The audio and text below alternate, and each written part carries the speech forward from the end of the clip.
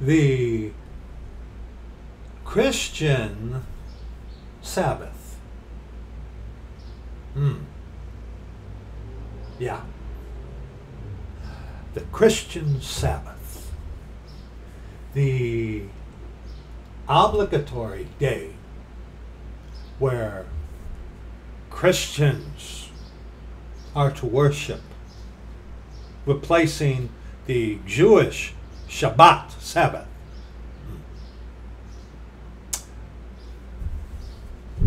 What saith the scriptures? What saith the scriptures? We're going to be talking a little bit about this, about this thing called the Christian Sabbath. Now, Christian Sabbath, bloop, you're not going to find that in the authorized version of the scriptures. You're not going to find that. Okay? And as far as Sabbath, Shabbat, okay, we're going to address that today.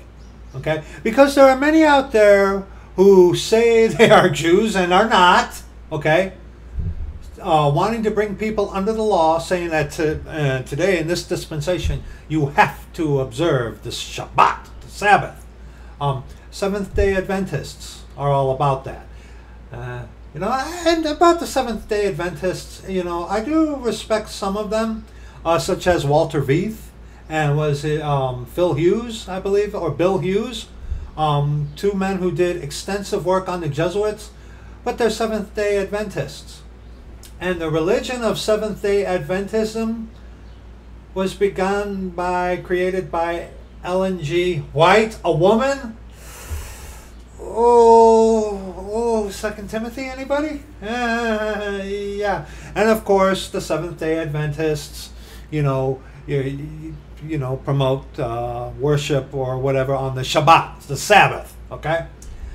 But also the Seventh day Adventists, they don't rightly divide the word of truth. If they do, they do it glibly, lightly. Um, and also, the mark of the beast is the wafer cookie and the Ash Wednesday cross on the forehead, you know, that kind of thing. But who are the big promoters of the Christian Sabbath? Oh, well, that would be Roman Catholicism. You can see, you're going to see the thumbnail. Roman Catholicism. And also, uh, we're going to reference the Catechism today. But also,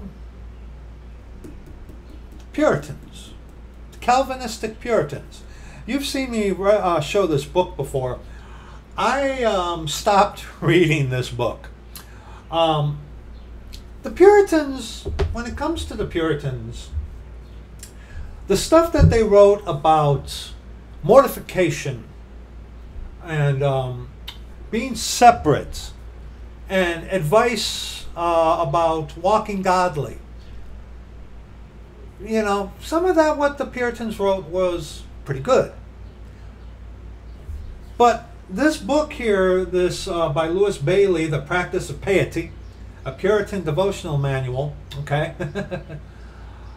um, it became more bony than meaty because within the latter parts of this book, which I stopped reading, um, about, I would say 60 to 70% of this book is all about how Christians ought to worship on the Christian Sabbath, which is which they call Sunday, the Lord's Day. Okay, the Lord's Day, and that is that is scriptural, the Lord's Day. But like I said, we're gonna we're going to examine this. Please get your authorized version of the scriptures, and please, please follow me along at the scriptures that we are going to be looking at today. Follow me along word for word, verse by verse at the things we are going to be looking at today. Follow me, follow me along. Check me out. Make sure I'm not skipping a groove, okay? Check me out. Check me out. Check me out. Follow along in the scriptures, okay? We're going to begin in Mark chapter 2. Mark chapter 2 we're going to see in this video a couple of things. Number one, we're going to see that the Sabbath, man turned the Sabbath into an idol. Hello? Okay? Just like man, just like man, the religion of man, Roman Catholicism, has turned a building into an idol. And has turned, you're going to see this, you're going to see this from the horse's rear end, okay? You're going to see this. Um, the buildings are a requirement for this Christian Sabbath. But we're going to see that man had, had turned the Sabbath into an idol. We're also going to see what the Sabbath actually was, whom it was uh, applicable for, and what it actually was a part of. Okay? Then we're going to see some of the arguments that are used to worm in this replacement of the actual Sabbath, of, you know, the Christian Sabbath, Sunday. We're also going to see that today in this dispensation, that keeping the Sabbath or Shabbat is not a requirement for salvation. And we talk about that in several videos. The video about Mark the Mess, okay, which will be in the description box. We talk about that. We use him as a catalyst to go off into on other directions and stuff like that. To uh, and Mark the Mess is a perfect example of someone who thinks he is, who's saying he is a Jew and he is not, trying to bring people under the law. Perfect example, okay? But we're going to see where they derive this thing of Sunday worship, okay? And we are going to see that it is not a requirement for us today to keep a prescribed day, but a day that is to be given unto the Lord, which we are going to see is a, is a scriptural concept. We're going to see that within this dispensation, this dispensation, see, you got to rightly divide the word of truth, friend. Okay? At the root of this issue, at the root of this heresy, is rightly dividing the word of truth. That's the root of it. But getting a little ahead of ourselves. Let's see first how man turned the Sabbath, the Shabbat, as the Hebrew people say, the Shabbat. How man turned God's day of rest into an idol. Mark chapter 2, verses 23 on to verse 28, close of the chapter. And it came to pass that he went through the cornfields on the Sabbath day, and his disciples began as they went to pluck the ears of corn. And the Pharisees said unto him, Behold, why do they on the Sabbath day that which is not lawful? And he said unto them, Have ye never read what David did when he had need and was an hungered, he and they that were with him? This is talking about when David was fleeing from Saul. And he went to uh, what was it Abiathar and asked for the and he got the sword of Goliath and he took the shewbread which was in a manner common as David himself says. And Abiathar I believe it was I believe it was if I'm wrong on that correct me in the comment section. But uh, the priest said you know eh, you know so long as the men have kept themselves from women they can eat the shewbread and uh, and David said, well, in a manner it is common and stuff like that. Okay, that's what the, our Lord is referencing. Okay, how he went into the into the house of God in the day of Abiathar the priest, and did eat the shewbread, which is not lawful to eat but for the priests, and gave also to them which were with him. And he said unto them, right here, the Sabbath was made for man, not man for the Sabbath. Ah. Therefore, the Son of Man is Lord also of the Sabbath. Verse 27 is in a nutshell. And he said unto to them, The Sabbath was made for man, not man for the Sabbath. Okay? Now, looking at ver, uh, Mark chapter 3, verses 1 on to verse 6. Okay? And he entered again into the synagogue. And there was a man there which had a withered hand. And they watched him whether he would heal him on the Sabbath day, that they might accuse him. And he saith unto the man which had the withered hand, Stand forth. And he saith unto them, Is it lawful to do good on the Sabbath days, or to do evil, to save life, or to kill? But they held their peace. And when he had looked round about on them with anger, with anger, oh, the Lord Jesus Christ got angry. Yeah. And and the Bibles they say uh, if you're angry at your brother, you're in danger of damnation. But see, in the scriptures, whosoever is angry at his brother, uh, if you are angry at your brother with a cause, it's okay to be angry. But what is the cause of the anger? See, the Bible's called Jesus a sinner because they say whosoever is angry at his brother is in danger of hellfire or whatever. But the scripture says, uh, whosoever is angry at uh, who is angry at his brother without a cause. Okay? And did Jesus have a cause to be angry here?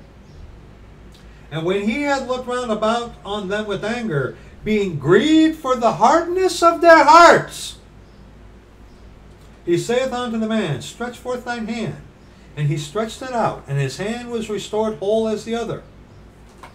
And the Pharisees went forth, and straightway took counsel with the Herodians against him, how they might destroy him. Okay? Now, go to Luke chapter 13. Luke chapter 13. Luke chapter 13. We want verses 11 on to verse 17. Okay? Luke chapter 13. And behold, there was a woman which had a spirit of infirmity 18 years, and was bowed together, and could in no wise lift up herself. And when she when Jesus saw her, he called her to him, and said unto her, Woman, thou art loosed from thine infirmity. And he laid his hands on her, and immediately she was made straight and glorified God. And the ruler of the synagogue answered with indignation, because that Jesus had healed on the Sabbath day, and said unto the people, There are six days in which men ought to work. In them therefore come and be healed, and not on the Sabbath day. See, work. If you've ever talked with any of the true Hebrew people, the Jewish people, they made a big to do about what well what is work and they overdid it on that for example some of the hebrew people about the shabbat as they say it the shabbat the sabbath they teach that it's called considered work if you turn on your oven if you drive a car some of the hebrew people will even go as far as to say that there is a certain amount of steps that you can take. And anything beyond those steps will can be contrived as working on the Sabbath day. See, they overdid it.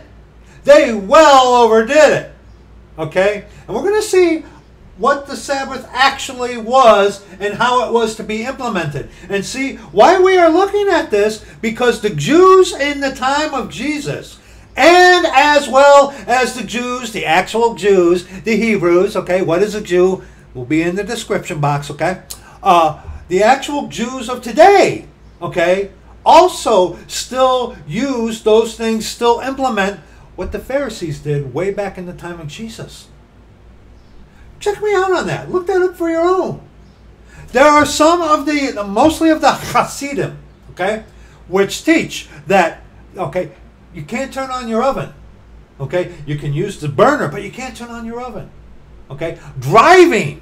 Some uh, of the Jewish people teach that driving is a work. That's why a lot of the Jewish people try their best to live so close to the synagogue because you can only walk to the synagogue, not drive, because in some of them, uh, some of the um, of the sects of Judaism, which is Kabbalistic magic today, teach that driving is work.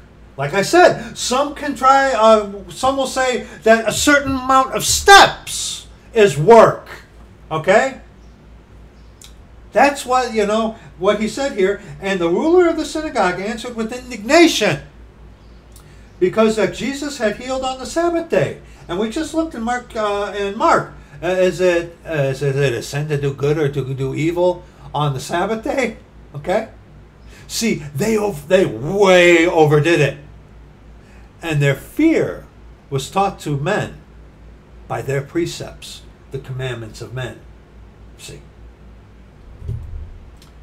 Because that Jesus had healed on the Sabbath day, and said unto the people, There are six days in which men ought to work, and then therefore come and be healed, and not on the Sabbath day. And look at the Lord. He calls them right on it. Because see, what we just what I just said to you is what they were doing. You know, a certain amount of steps is considered a work. Turning on your oven is considered a work. Okay? Maybe sewing. They got ridiculous about it. Okay? And our Lord is like, hey, see, they made an idol out of something that was of God. They made an idol out of it. Okay? The Lord then answered him and said, Thou hypocrite, doth not each one of you on the Sabbath loose his ox or his ass from the stall and lead him away to watering? Some of them would consider that a work. Okay? And you remember, what they are calling work is a man made law, not the law of Scripture. Remember that. Man made law, not the law of Scripture. Okay? Calvinists. Man made. Uh, Puritan. Calvinist. Puritan. Okay? Puritans were Calvinists. Calvinists. Puritans.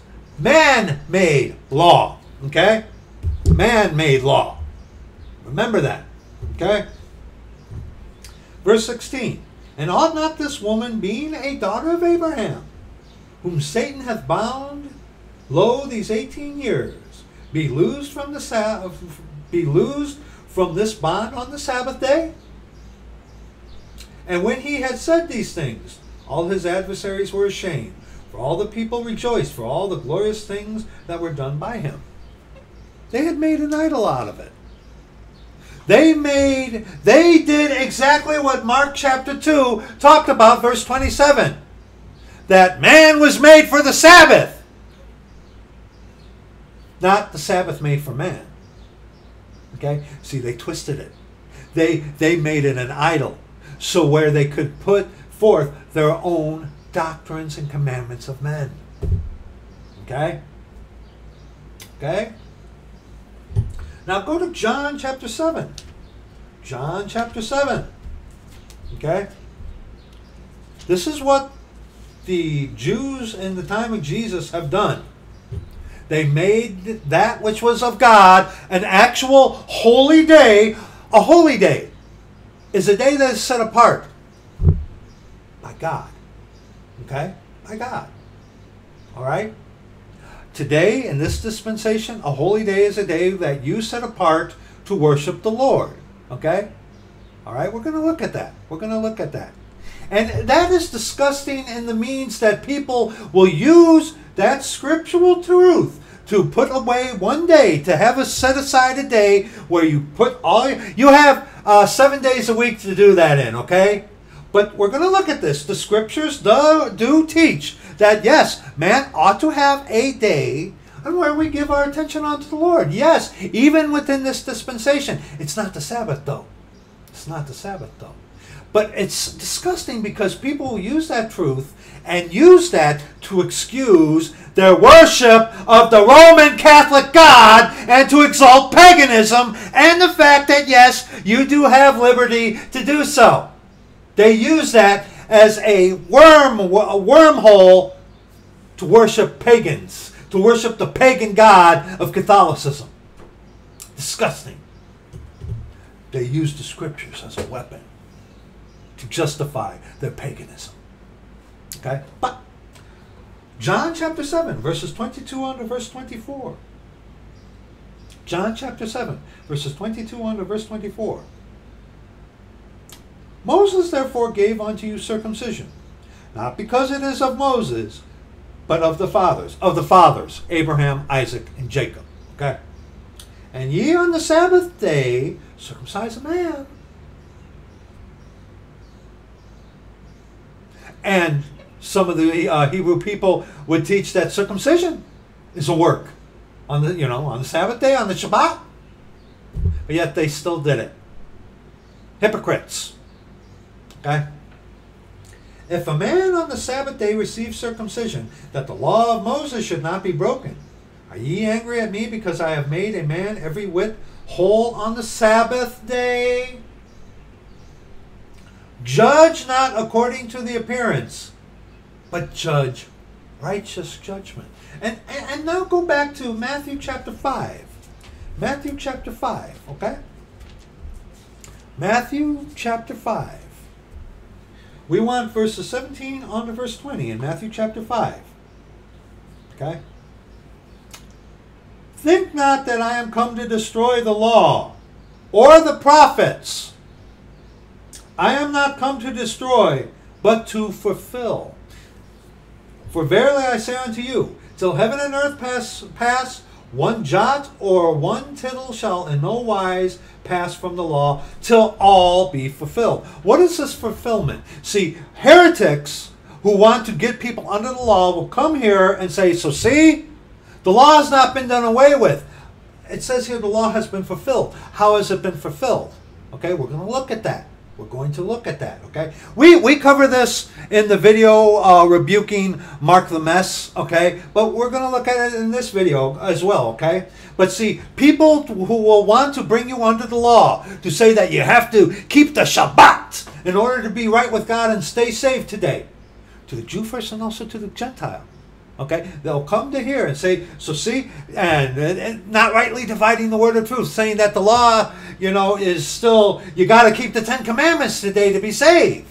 They'll come here and twist this, looking also that this is in the Sermon on the Mount. But what he is saying is about the fulfillment of the law. How is the law fulfilled? We're going to look at that. Now let's continue. Verse 19.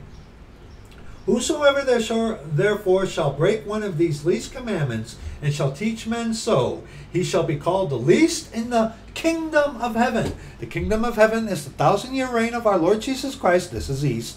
Where our Lord Jesus Christ, God our Father Himself, will be on earth, ruling from Jerusalem, that's east, on His throne. Okay? That's the kingdom of heaven for a thousand years. Okay, this is also showing us that during the kingdom of heaven, the law will be reinstant, will be there. Okay, you're gonna keep the law. Okay, during the kingdom of heaven. Why? Because uh, during the kingdom of heaven, it's all works. Okay, just like the Sermon on the Mount is. It's all works. Okay, hello. Let's continue. But whosoever shall do and teach them, the same shall be called great in the kingdom of heaven. The thousand year reign of our Lord Jesus Christ on the earth, physically, while he's ru- ruling and reigning in Jerusalem. Okay? For I say unto you, that except your righteousness shall exceed the righteousness of the scribes and Pharisees, ye shall in no case enter into the kingdom of heaven. Okay? Kingdom of heaven.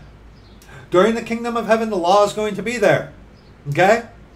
The law is going to be there. But he says here, Think not that I am come to destroy the law or the prophets. I am not come to destroy, but to fulfill.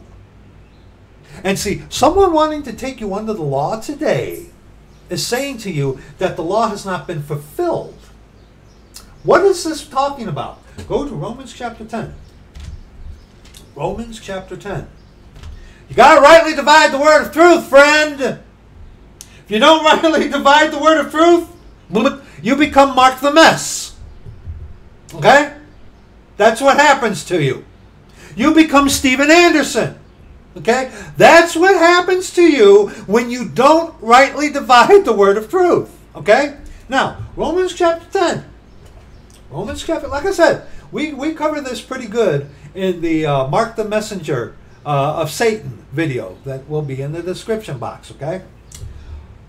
Romans chapter 10 verses 1 on to verse 13. Written for us specifically today in this dispensation. To the Jew first, also to the Greek. Okay? Let's read. Brethren, my heart's desire and prayer to God for Israel is that they might be saved. For I bear them record that they have a zeal of God, but not according to knowledge. For they, being ignorant of God's righteousness, and going to and going about to establish their own righteousness, how? By keeping the law, have not submitted themselves unto the righteousness of God. Because hey, if someone's someone's got to you know got to keep the law today to be saved, they say, well, I've I've I haven't done I haven't coveted, I have not committed adultery, I'm keeping the Sabbath, okay? Like Catholics, okay? You confront a Catholic on that, they say, well, I go to Mass, I do communion, I do penance, man made law, okay? Man made law, all right? For Christ is the end of the law for righteousness to everyone that believeth. Everyone. Oh, but these, uh, especially these easy believism heretics who want to refute uh, Romans chapter 10, okay? Uh, they, they, you know, they say, well, calling on the name of the Lord is just for the Jews. Everyone means everyone, doesn't it? Yeah, it does. Yes, it does. For Christ is the end of the law for righteousness to everyone except the Jews that believe. That believeth? Uh, no. To the Jew first, and also to the Greek. Greek is a Gentile. Watch out for these wicked heretics, these easy believers believism people who say that calling on the name of the Lord is a work, and they say, well, it's for the Jews. They're lying to you, wanting to damn you to hell. Watch out for them, okay? Let's continue. For Moses describeth the righteousness which is of the law, that the man which doeth those things shall live by them. And if you do that, you can say, well, hey, I haven't done this, I haven't done this, I, I, I, me, me, me. Okay? That's the righteousness of the law. I haven't done this, I haven't done that. Okay? But the righteousness which is of faith speaketh on this way wise. Say not in thine heart, Who shall ascend into heaven? That is, to bring Christ down from above. Like the Roman Catholic priests, the Jesuit priests. That they teach you that the Jesuit priest with the little dog collar has the magic power to call Christ down from heaven into a little wafer cookie. Okay? I don't think so. And they teach also that they have this magical power to turn wine into the actual blood of Jesus. See, they're cannibals. The Catholic are taught by the Jesuits that they have to eat the flesh of God and drink his blood that they call down from heaven into a little wafer cookie and into a, uh, a chalice. People actually believe that. It's called transubstantiation. It's heresy. Okay? It's wicked. But let's continue. Or who shall descend into the deep? That is, to bring up Christ again from the dead. But what saith it? The word is nigh thee, even in thy mouth and in thy heart. That is the word of faith which we preach. That if thou shalt confess with thy mouth the Lord Jesus, and shalt believe in thine heart that God hath raised him from the dead, thou shalt be saved. And there are a lot of people out there who talk about calling on the name of the Lord, but yet do it absent of scriptural brokenness and contrition. That's why that that dear man from Australia was uh, saying that he had called. I had called upon the name of the Lord twenty-five times, and I, that's because you weren't broken, son. You weren't broken. You have no contrition, godly sorrow. And of course, if someone who is not broken and has no godly sorrow and has no fear of the Lord call on the name of the Lord, no, no, No.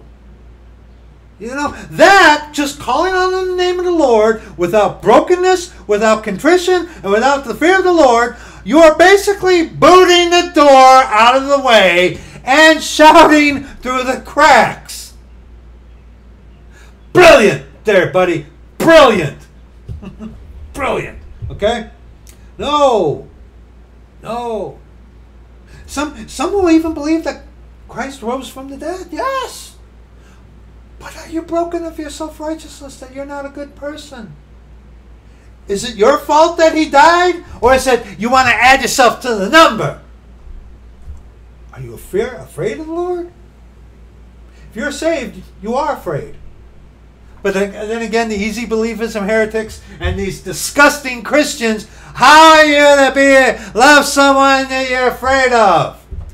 A video in the description box will be about that too. Okay? Love or fear. Okay? But let's continue. And see, the way the Romans road of salvation works, that has been, that the Lord has used me with, the, this way. You guide someone to Christ through the book of Romans, okay? Verse uh, chapters 1, 2, and 3 deal with the lost sinner, okay? And especially Romans chapter 3, verses 10 on to verse 18, really drives it home. Okay? And then within chapter 3, they give to you the solution. Okay? The solution, which is Christ Jesus. Okay? And then by Romans chapter 5, you're going to recognize whether you've got someone who the Lord has broken through his word, or someone who's going to cross their arms and be impenitent, not willing to kneel or bend, and just wanting to be obstinate. You're going to know by the time Romans chapter 4 that the Lord leads you to Romans chapter excuse me, Romans chapter 5. You're going to know that. Then you come here. Call upon the name of the Lord because you've been broken.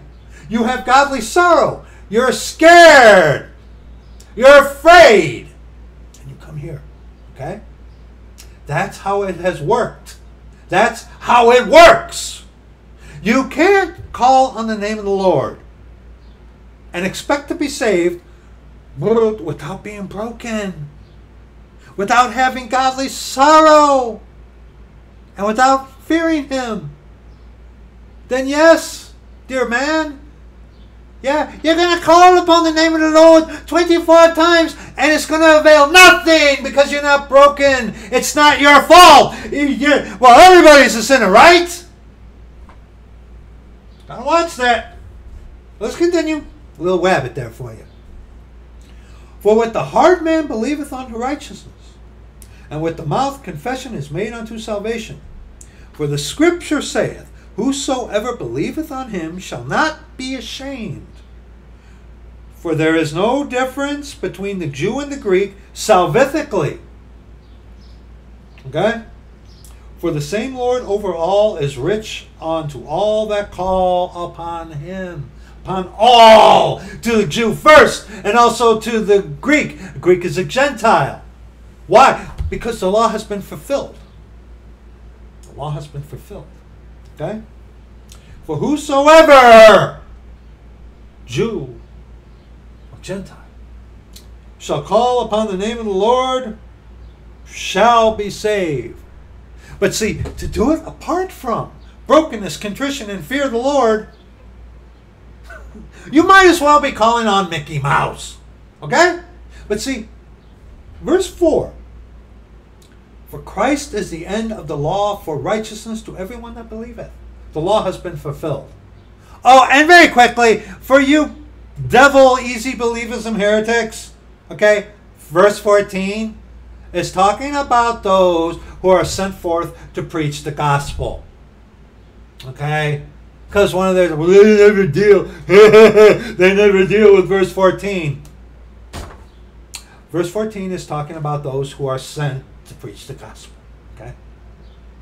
All right. But now go to Hebrews chapter 7. Hebrews chapter 7. Okay? Hebrews chapter 7. See, we're going to see that the Sabbath was mandatory under the dispensation of the law, which was faith and works.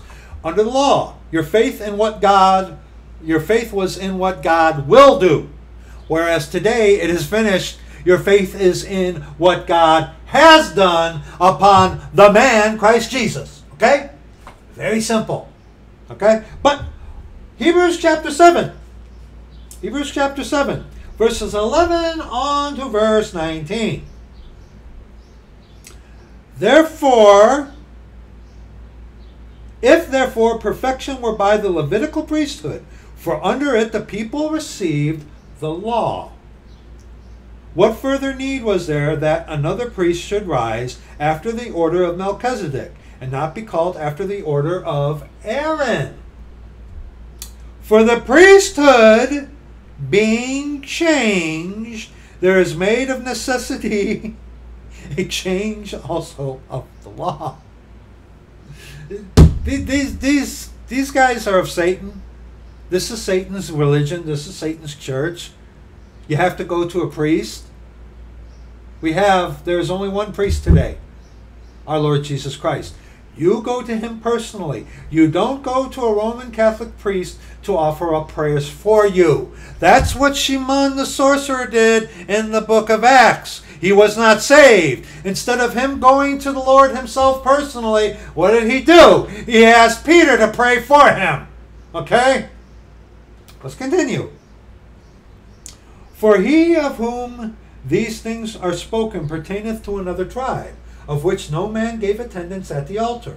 For it is evident that our Lord sprang out of Judah, of which tribe Moses spake nothing concerning the priesthood. Okay? And it is yet far more evident, for that after the similitude of Melchizedek there ariseth another priest, who is made not after the law of a carnal commandment, but after the power of an endless life. For he testifieth, Thou art a priest forever, after the order of Melchizedek. For there is verily a disannulling of the commandment going before for the weakness and unprofitableness thereof.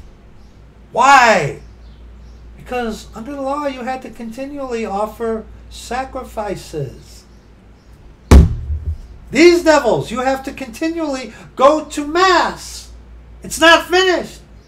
Christ is in you according to their own teachings. When you eat Him, okay, you have to drink His blood according to these devils. Okay? All right? All right? The, okay? For there is verily a disannulment, a disannulling of the commandment, going before for the weakness and unprofitableness thereof. You had to continually offer animal sacrifices under the law. Okay? All right? Like I said, watch the uh, video uh, exposing the heretic Marc the Mess. Okay?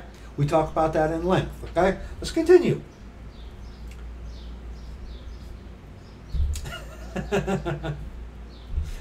Verse 19. Are you looking at that? For the law made nothing perfect, as pertaining to salvation, by the way. But the bringing in of a better hope did, by the which we draw nigh unto God. And of course, Jesus Christ, our Lord God, our Savior, our Father, He is the blessed hope. Okay? And Hebrews chapter 10. Hebrews chapter 10. Okay? Hebrews chapter 10. What do I have written down here? Verse 9 on to verse 18. Hebrews chapter 10, verses 9 on to verse 18. Then said he, Lo, I come to do thy will, O God. He taketh away the first, referencing onto the Old Testament law. Okay?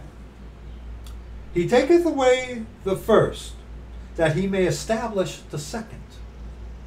By the which will we are sanctified through the offering of the body of Jesus Christ once, once not a continual sacrifice, once for all. And every priest standeth daily, ministering and offering oftentimes the same sacrifices which can never take away sins. Okay? See, the blood of bulls and goats covered sins.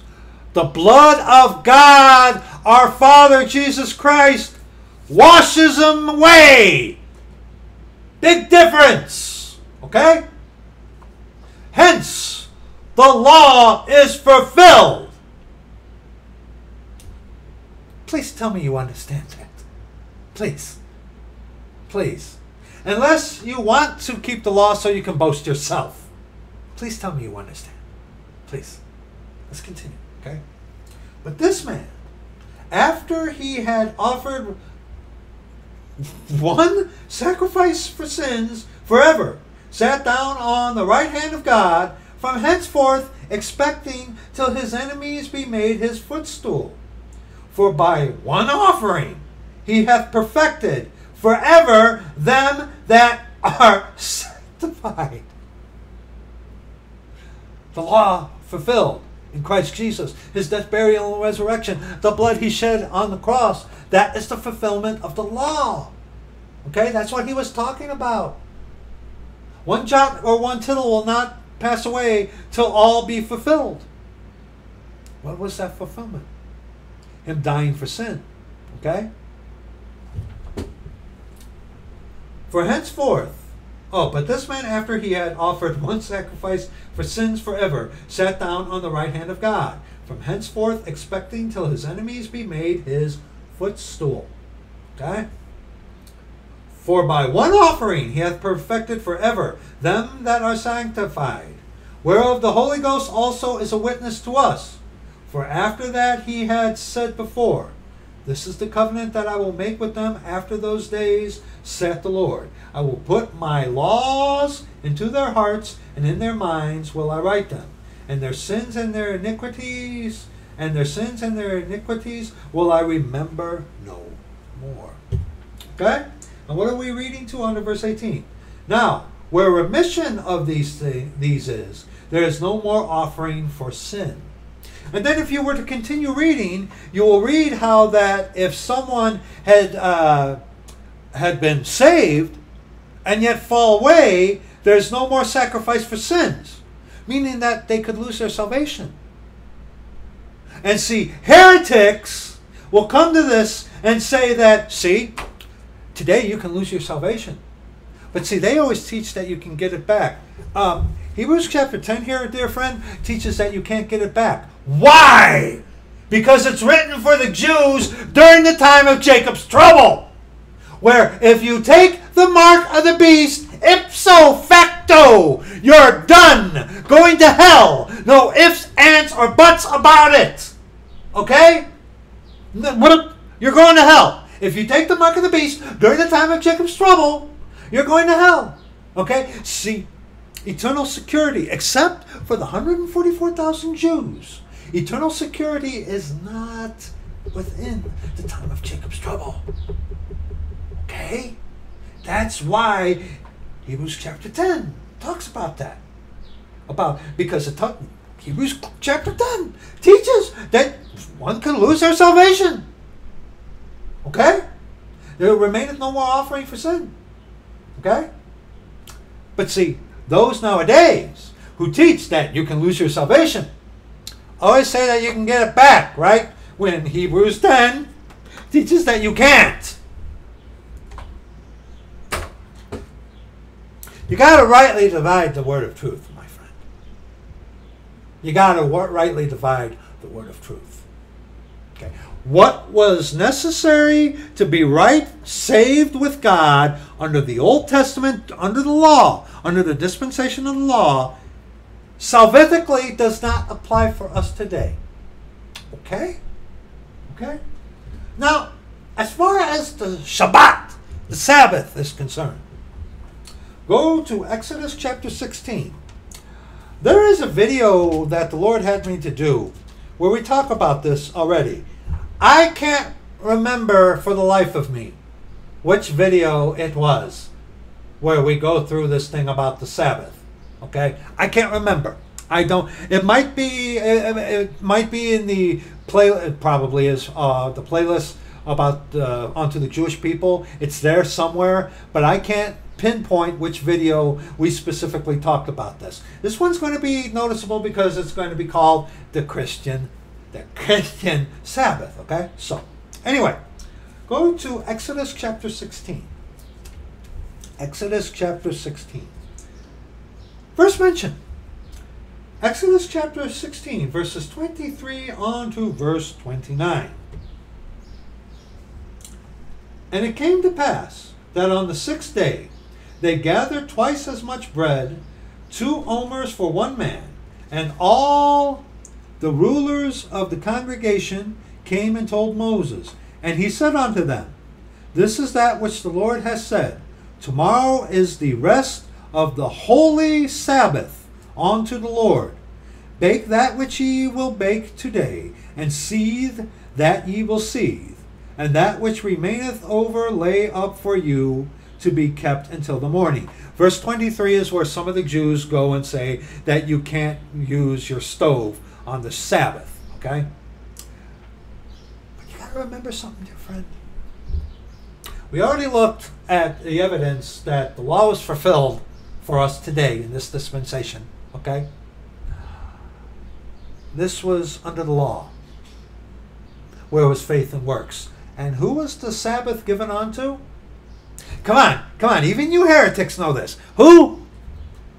Uh, that would be the Jews. Let's continue.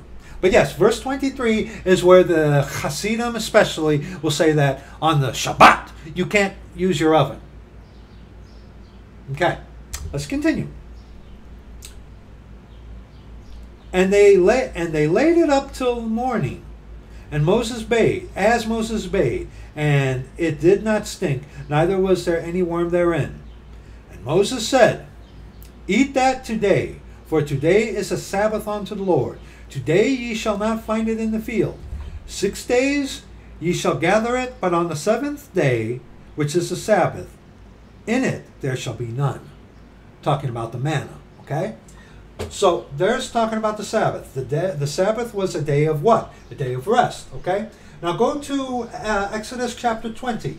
Exodus chapter 20. The Ten Commandments. The Ten Commandments, which heretics like Marc the Mess say that we today, in this dispensation, that we today have to keep. Hmm. There's a problem with that. Let's go. Uh, come on, Exodus chapter 20 verses 1 on to verse, oh, what do I have written down here? Verses 1 on to verse 12, okay? And God spake unto, and God spake all these words, saying, I am the Lord thy God, which have brought thee out of the land of Egypt, out of the house, house of bondage. Thou shalt have no other gods before me. Thou shalt not make unto thee any graven image. This, this is the second commandment. Or any likeness of anything that is in heaven above, or that is in the earth beneath, or that is in the water under the earth. Thou shalt have no other God, gods before me. First commandment. Second commandment. Thou shalt not make any. Um, thou shalt not make unto thee any graven image or any likeness of anything that is in heaven above, or that is in the earth beneath, or that is in the water under the earth.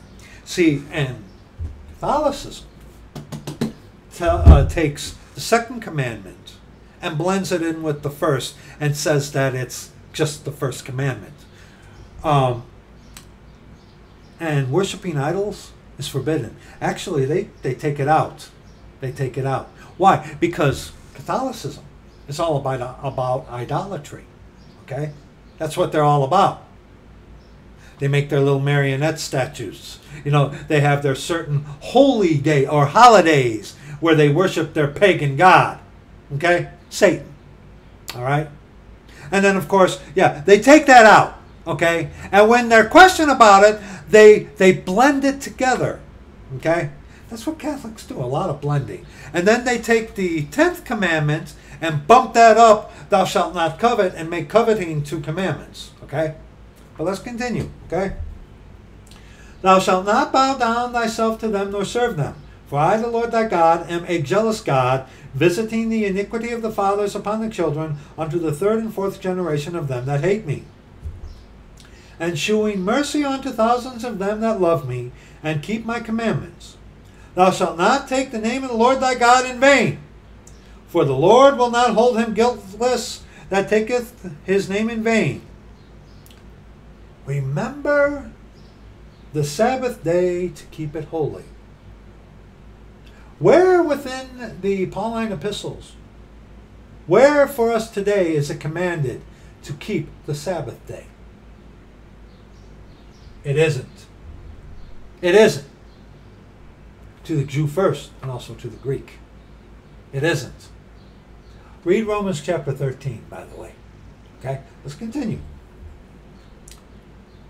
Six days thou shalt do thy labor, and do all thy work.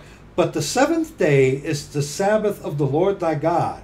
In it thou shalt not do any work, thou, nor thy son, nor thy daughter, thy manservant, nor thy maidservant, nor thy cattle, nor thy stranger that is within thy gates. For in six days the Lord made heaven and earth, the sea, and all that in them is, and rested the seventh day. Wherefore the Lord blessed the Sabbath day and hallowed it. Work. Servile work. You know, to serve people. Okay? That's the type of work that our Lord is talking about. But see, the Jews and man made laws of the Catholics way overdid it and got silly about it. Certain amount of steps that you can take in a day, and anything over that construes working. Okay? Like I said, in uh, verse 23 in Exodus, uh, or what in Exodus 16 about kindling a fire, that's where the Jews say, get their thing where you can't use your oven on the Sabbath. Okay? Given for another dispensation, by the way, under the law. Okay, but for us today, we are not commanded to keep the Sabbath. Paul, within the Pauline epistles, mentions nothing about keeping the Sabbath. Actually, you do this up, uh, look this up. I, I did not look at the plural form of Sabbaths, okay? But um, in the book of Acts, they mention the Sabbath, about going into the Sabbath day. Paul, Peter, James, or not James, but uh, John and stuff like that, they never taught about keeping the Sabbath. Okay? All right? But what does Paul teach about? What does the scriptures teach about a day of rest unto the Lord? We'll, we will get to that, okay? But this was written unto who? The Jews. Under the dispensation of the law, which was faith and works. Now go to Deuteronomy chapter 5. Deuteronomy chapter 5. Okay? Deutero, second, onemy, the second giving of the law unto the generation that came out of the wilderness. Okay? Deuteronomy chapter 5, verses 12 on to verse 15. Again, Moses speaking the truth of the law unto the Jews, and unto the Jews, the actual Hebrews that are descended from Abraham, Isaac, and Jacob, okay? Unto the Jews was given the law. Okay? Deuteronomy chapter 5, verses 12 on to verse 15. Keep the Sabbath day to sanctify it, as the Lord thy God hath commanded thee. Six days thou shalt labor, and do all thy work.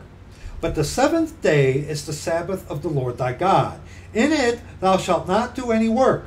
Thou, nor thy son, nor thy daughter, nor thy manservant, nor thy maidservant, nor thine ox, nor thine ass, nor any of thy cattle, nor thy stranger that is within thy gates, that thy manservant and thy maidservant may rest as well as thou. Okay? And verse 15. Right here. And remember that thou wast a servant in the land of Egypt, and that the Lord thy God brought thee out thence through a mighty hand and by a stretched out arm. Therefore, the Lord thy God commanded thee to keep the Sabbath day. Under the captivity of Egypt, okay, did the Jews ever have a day off? Did they ever rest while being servants to the pharaohs? Hmm? No.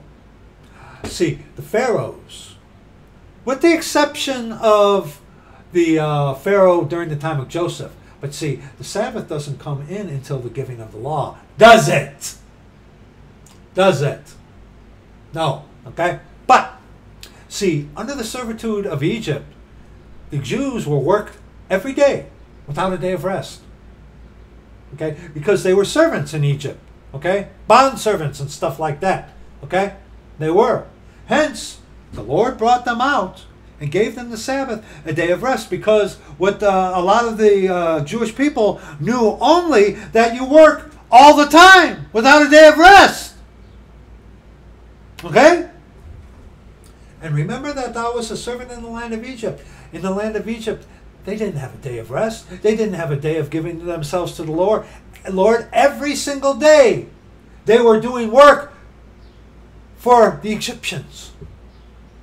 Hence, the Sabbath was made for man and not man for the Sabbath. Those of you who work in the secular workforce, okay? Unless you got shyster bosses who are concerned about their payroll of their employees, um, there are some jobs out there who would love to have you work seven days a week and kill yourself in the process. I remember there was talk about in Russia how they tried to extend the work week to a 10 day thing or something like that. Don't quote me on that. I heard that. But that Russia tried to make uh, the week 10 days or something like that. Okay, like I said, don't quote me on that. I heard that. There's seven days in a week. Okay, seven days. Okay? That's what the scriptures say. Thus saith the Lord, seven days. But there again, there again, the Sabbath was made for man, not man for the Sabbath. Okay? A day of rest where you don't work yourself to death. Why is that? Psalm 103. Psalm 103. Okay? Psalm 103. There was a man who I used to talk to who um, went crazy, um, who who worked quite often, but would have string of days where he would work 10, 12 days in a row without a day of rest and would kill him. Okay? That's not good. okay? But Psalm 103, verses 10 on verse 18. The Sabbath was made for man, not man for the Sabbath. And the Sabbath was given under the law unto the Jews. Okay? And the law has been fulfilled. But today, yes, we are to have at least one day of rest. We're going to get to that. Okay? Don't get ahead of me. Okay? Psalm 103. We want verses 10 on to verse 18. He hath not dealt with us after our sins, nor rewarded us according to our iniquities. Praise the Lord for that. Because if he did, you and I wouldn't be here. If he rewarded us according to our iniquities and dealt with us after our sins, then no, none of us would be here, and rightfully so. Okay? How many of you out there take the mercy of God for granted or the long suffering? He you're lost and you have today and you're going to attack the church of the living God. Yeah. For as the heaven is high above the earth, so great is his mercy toward them that fear him. Fear and he said unto man, the fear, behold, the fear of man. Uh, beg your pardon. And unto man he said, Behold, the fear of the Lord, that is wisdom, and to depart from evil is understanding. Job 28 28. Okay? As far as the east is from the west, so far hath he removed our transgressions from us. Like as a father pitieth his children, so the Lord pitieth them that fear him. Again, love or fear. Check it out, where we address this stupid heresy. How are you supposed to uh, love someone who you're afraid of? The fear of the Lord, that's wisdom. The fear of the Lord is required for Him to save you. And you got someone, it's the love of God, not the fear of the Lord today. When Paul preached the fear of the Lord. Yeah, the stupid heresy that the fear of the Lord is not necessary for the Lord to save you today. Heresy. We address that in the video Love or Fear. Check it out, okay? Verse 14 For he knoweth our frame, he remembereth that we are dust. As for man, his days are as grass, as a flower of the field, so he flourisheth. Okay? So he flourisheth. For the wind passeth over it, and it is gone, and the place thereof shall know it no more. But the mercy of the Lord is from everlasting to everlasting upon them that fear him. See, the fear of the Lord does has not gone away within this dispensation. Okay? Knowing therefore the terror of the Lord, we persuade men Serve one another in the fear of God. Everything that Paul preached was in the premise, with, was in the light of the fear of the Lord. Don't let these Christians come around saying, You don't need to fear God. You don't need to fear Lord. How are you supposed to love one you're afraid of? Get away from people who tell you stuff like that. The fear of the Lord he can send you to hell, and he has every right to. Without the fear of the Lord, there is no true salvation. Simple as that. That crosses. Okay?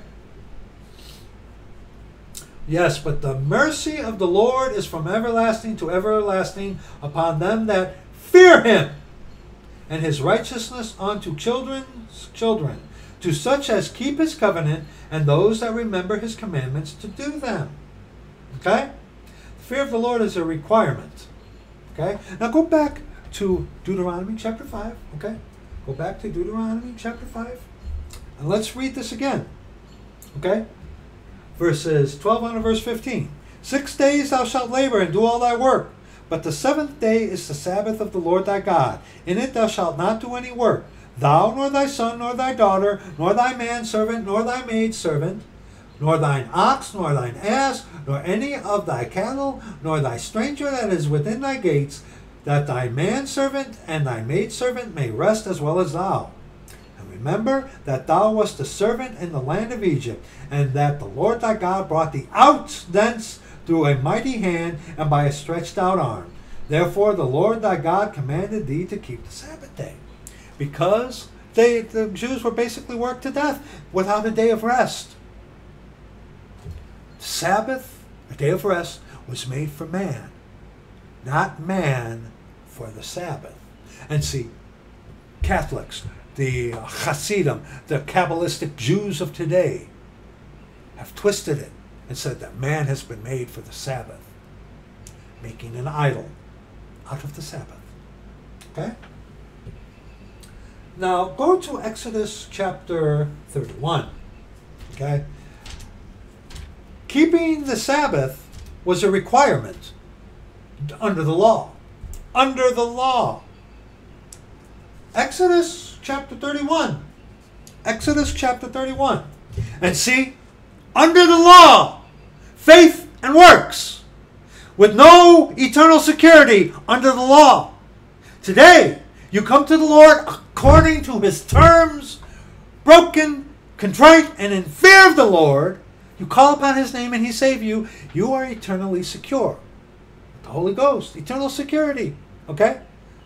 Read Ephesians chapter 1 sometime. Okay? You are sealed until the day of redemption. You cannot become unsealed. It's not your salvation. It's his. Okay? But see, under the law, that permanent seal was not there. Hence, you had to keep the law. And you had to have faith in what God will do in you keeping the law. See?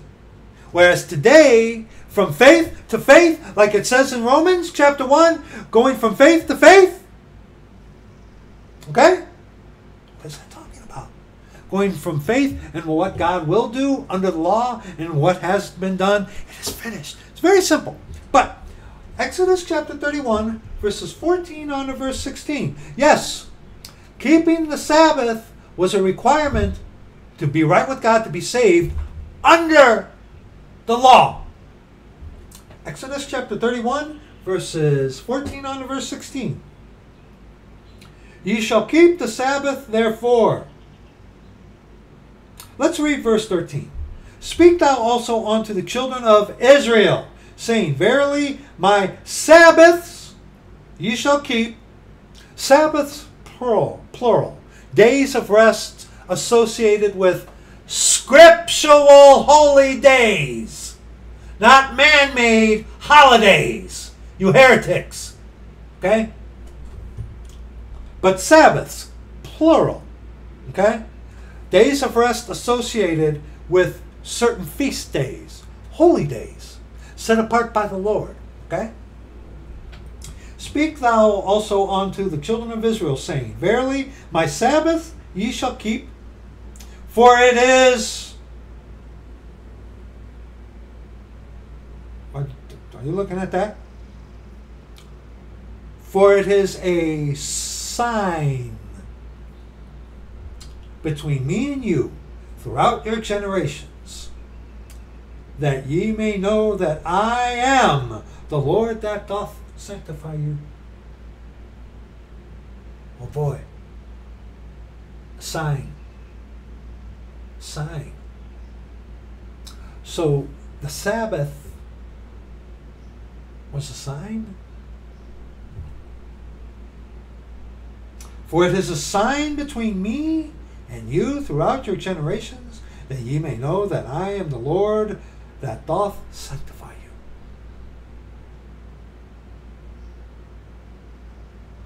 Oh, don't worry. We're going to hit this again. Let's continue.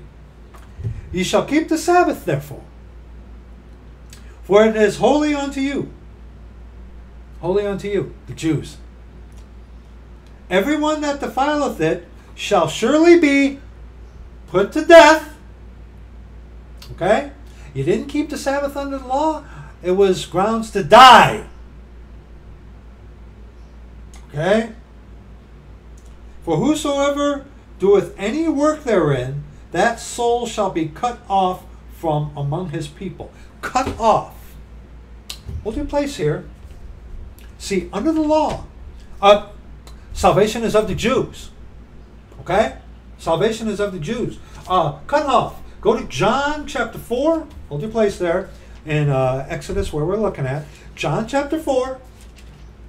John chapter 4, we want verses 21 on to verse 24. okay. Oh, wait. Uh, John chapter 4, you idiot. John chapter 4, verses 21 on to verse 24. Jesus speaking unto the woman at the well. Jesus saith unto her, Woman, believe me, the hour cometh when ye shall neither in this mountain nor yet at Jerusalem worship the Father.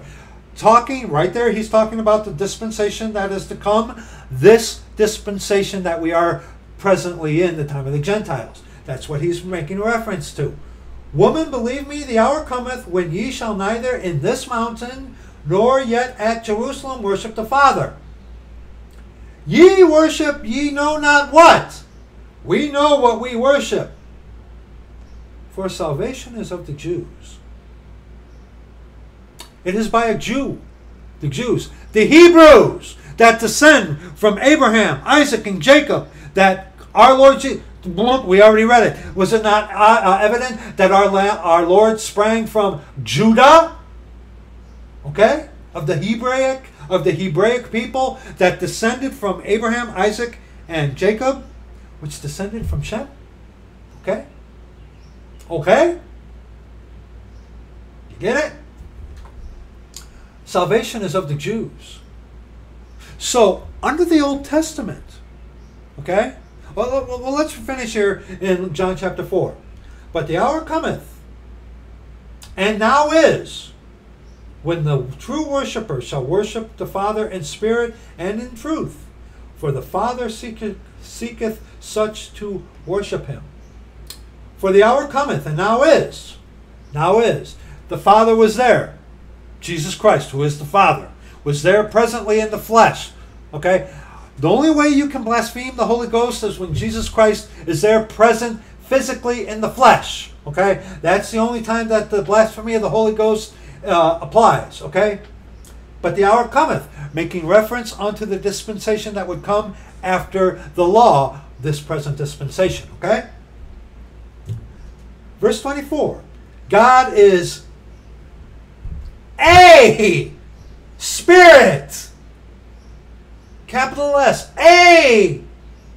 Your NIV, your ESV, your New American Standard remove the letter A. Hence, God is spirit. Okay? God is a spirit. Distinction.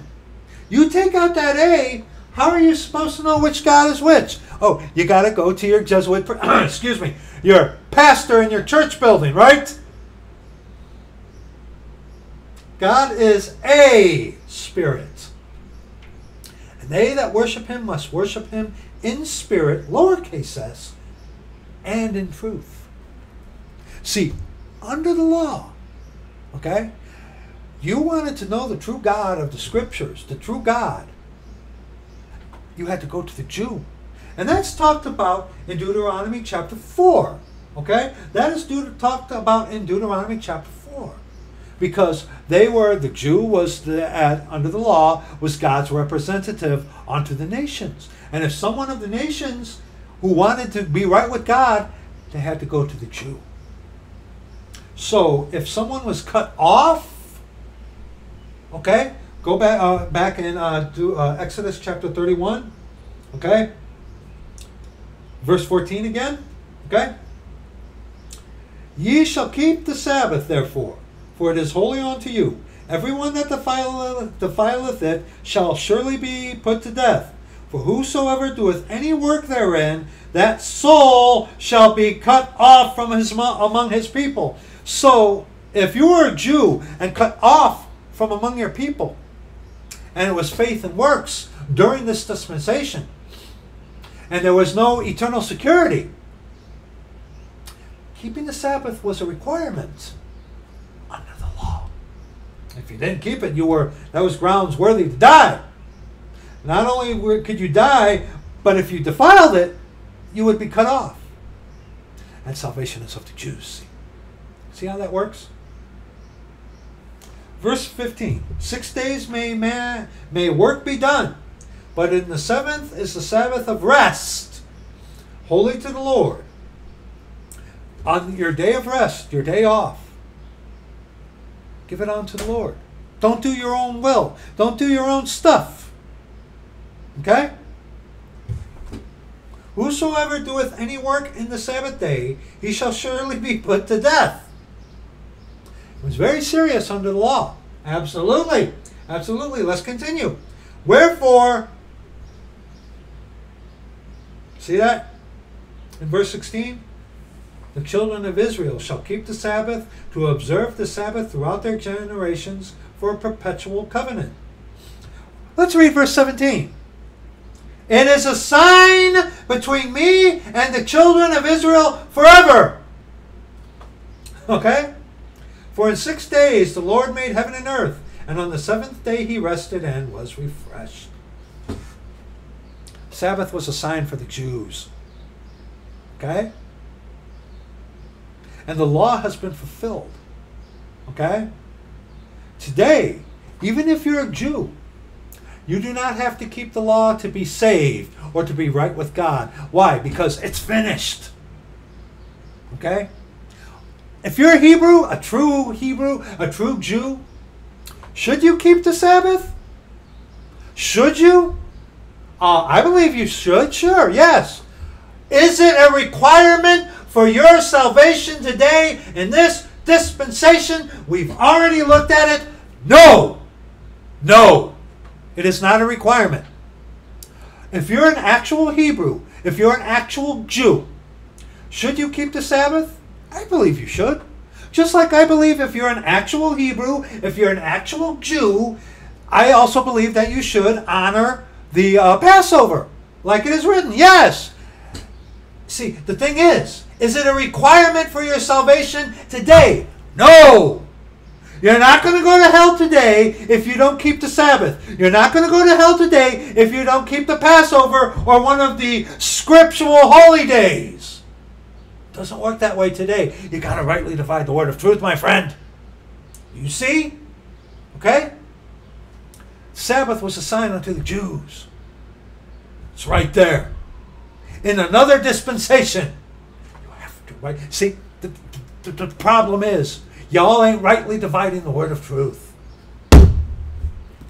These scumbags, and I'm being polite, don't rightly divide the word of truth. Puritans kind of did a thing of dispensationalism. They did. But they taught the replacement of the Christ, Christian Sabbath that replaces the actual Sabbath. When the scriptures teach no such thing. I'm going to look at that. Keep, stay with me. Now, let's go to Deut- uh, Deuteronomy, excuse me. Exodus chapter thir- uh, 35, verses 1 on to verse 3. Again, more of this that it was a requirement under the law keeping the Sabbath, like the holy days, were requirements under the law. Okay? Today, when you come to the Lord on His terms, broken, contrite, and in fear of Him, call upon the name of the Lord, He save you. To be right with God, to be saved today, you do not have to do these things to be saved, stay saved, or be right with God. To the Jew first, disannulling in the law in the law. Okay? Gotta remember that. Let's continue. Deuter- uh, Deuteron- Deuteronomy, excuse me. Exodus chapter 35, verses 1 on to verse 3. Moses gathered all the congregation of the children of Israel together and said unto them, These are the words which the Lord hath commanded, that ye should do them. Six days shall work be done, but on the seventh day there shall be there shall be to you an holy day, a Sabbath of rest to the Lord. Whosoever doeth work therein shall be put to death. Ye shall kindle no fire throughout your habitations upon the Sabbath day. Okay? All right? It was a requirement under the law. And note that thing about an holy day. A day set apart for the Lord. And see, like I said, especially a certain select few of these King James Bible believing Christians will take this and twist it in order to justify their shameful idolatry of the Catholic God and worship and make a day, an idol out of a day that our Lord doesn't approve of. Y'all know what I'm talking about. Shame on you. Shame on you. And they twist the scriptures to justify it too. Shame on them. Shame on you. Shame on you. Okay? Shame on y'all who do that. Now, now go to Deuteronomy chapter 15 again. Uh, uh, I keep saying Deuteronomy. Beg your pardon. Numbers chapter 15 we're driving home now the fact that it was a requirement under the law. Okay? We first saw how man made an idol out of the Sabbath. Okay? Man will do that out of their man made holidays. They make them an idol. Okay? Okay? Man made an idol out of the Sabbath. The Sabbath was made for man, not man for the Sabbath. The Sabbath was a day of rest because the children of Israel were taken out of Egypt where they didn't have a day of rest. Okay? Bond servants, servants, working 24 hours a day, maybe. Seven days a week. I'm sure they gave them time to rest, to sleep, but they didn't have a day to focus on the Lord. Okay? All right? And we have already seen that. And it was a requirement under the law, under pains of death, and also if you defiled it, you were cut off, and salvation is of the Jews. Okay? We're driving this home. We're going to beat this horse a little. So you get it. Okay? Numbers 15, verses 32 on to verse 36. Okay? Numbers chapter 15, verses 32 on to verse 36. And while the children of Israel were in the wilderness, they found a man that gathered sticks upon the Sabbath day. And they that found him gathering sticks brought him unto Moses and Aaron, and unto all the congregation. And they put him in ward, because it was not declared what should be done to him. And the Lord said unto Moses, The man shall be surely put to death. All the congregation shall stone him with stones without the camp. And all the congregation brought him without the camp, and stoned him with stones, and he died, as the Lord commanded Moses. So, see, if you broke the Sabbath, kindling sticks, uh, getting sticks, okay? If you broke the Sabbath, it was grounds for death. Why do you want to go under a law that would be means for you to die if you broke it? The wages of sin is death. Yes. Yes.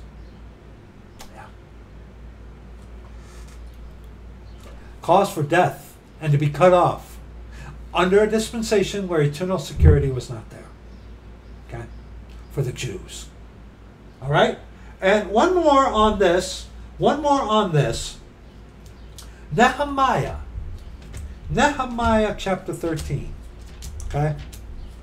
Has it not been already established that the Sabbath was a requirement under the law? Hmm? Has it not already been established that the Sabbath was given unto the Jews for a sign? Okay? Has it not already been established? It has been. Okay? It has been. But has it not already been established? Okay? But let's let's drive this home. Nehemiah chapter 13, verses 15 on to verse 22. Okay? In those days saw I in Judah some treading wine presses on the Sabbath, and bringing in sheaves, and lading asses, and also wine, grapes, and figs, and all manner of burdens, which they brought into Jerusalem on the Sabbath day. And I testified against them in the day wherein they sold victuals. Now you got to remember too. This, uh, these are Jews that were coming out of captivity of Babylon. Okay? And while they were in Babylon, they were made to serve the king of Babylon. Okay? So they were in Babylon for 70 years. That's a generation. Okay? That's at least at least one generation at the very least. Okay? But that is a generation. Okay? So these Jews being brought out of captivity on, in Babylon were not aware of the true precepts of the Sabbath. That's why Ezra is before Nehemiah. Okay? Let's continue. There dwelt men of Tyre also therein, which brought fish and all manner of ware and sold on the Sabbath unto the children of Judah and in Jerusalem. So those who are not of the Jews were causing the Jews to sin by selling them things on the Sabbath day. The guys of Tyre, you can't really prove that they did it uh, maliciously, but hey, because the Sabbath was a sign unto the Jews. Okay? So the guys of Tyre, it's like, hey, sure, sure. But see, the Sabbath was a sign unto the Jews. And you got to keep in mind that the Jews that were in this time of the times of Ezra and Nehemiah were coming out of captivity under Babylon. Okay? So, what does that mean? A lot of these guys were ignorant of the true law. Okay? You got to remember that. You got to remember that. A lot of them were, even though they had prophets like Ezekiel and prophets speaking unto them. Okay? But there was a, a lot of them were ignorant. You also got to remember, too, that a lot of the seed of Israel had mingled themselves with the Gentiles, with other nations, which was uh, which was uh, they were not supposed to do as Jews. Why? Because the Savior, the Mashiach, who is a Jew, were to come of the line of the Hebrew. That's why, especially under the law, there was not to be any intermingling with the Jews and the nations as far as marriage. Okay? Okay? Let's continue. But see, these men of Tyre, you can't really prove that they did this maliciously, even though you can link to Tyre about um, uh, Ezekiel chapter 28, king of Tyre. Okay? That's, a, that's an argument Eh, but nevertheless, verse 17 Then I contended with the nobles of Judah and said unto them, What evil thing is this that ye do, and profane the Sabbath day? Did not our fathers thus, and did not our God bring all this evil upon us and upon this city, Jerusalem? Yet ye bring more wrath upon Israel by profaning the Sabbath. And it came to pass that when the gates of Jerusalem began to be dark, before the Sabbath, I commanded that the gates should be shut, and charged that they should not be opened till after the Sabbath. And some of my servants set I at the at the gates, that there should be that there should no burden be brought in on the Sabbath day. So the merchants and sellers of all kind of ware lodged without Jerusalem once or twice. Then I testified against them, and said unto them, Why lodge ye about the wall? If you do so again, I will lay hands on you. From that time forth, they came no more on the Sabbath. what are we reading to here? Of 22. And I commanded the Levites that they should cleanse themselves, and that they should come and keep the gates, to sanctify the Sabbath day. Remember me, O God, concerning this also, and spare me according to the, the greatness of thy mercy. Okay? So Nehemiah mentions that, hey, all this came upon us because we didn't obey the law, because it was faith and works under the law. Okay? Okay? Showing to you the severity of the Sabbath, of not keeping it under the law. And go to Ezekiel chapter 20. Ezekiel chapter 20. Okay? We already read how the Sabbath was a sign unto the Jews under the law. Okay? Ezekiel chapter 20. Ezekiel chapter 20, verses 11 and 12. Ezekiel 20, verses 11 and 12.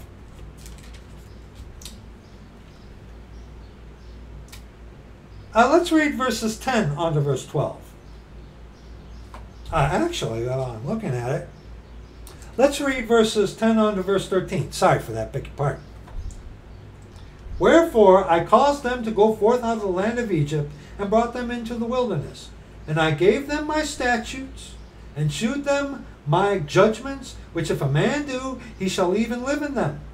Moreover, also I gave them my Sabbaths, to be a sign between me and them, that they might know that I am the Lord that sanctify them. But, as Nehemiah mentioned, the house of Israel rebelled against me in the wilderness.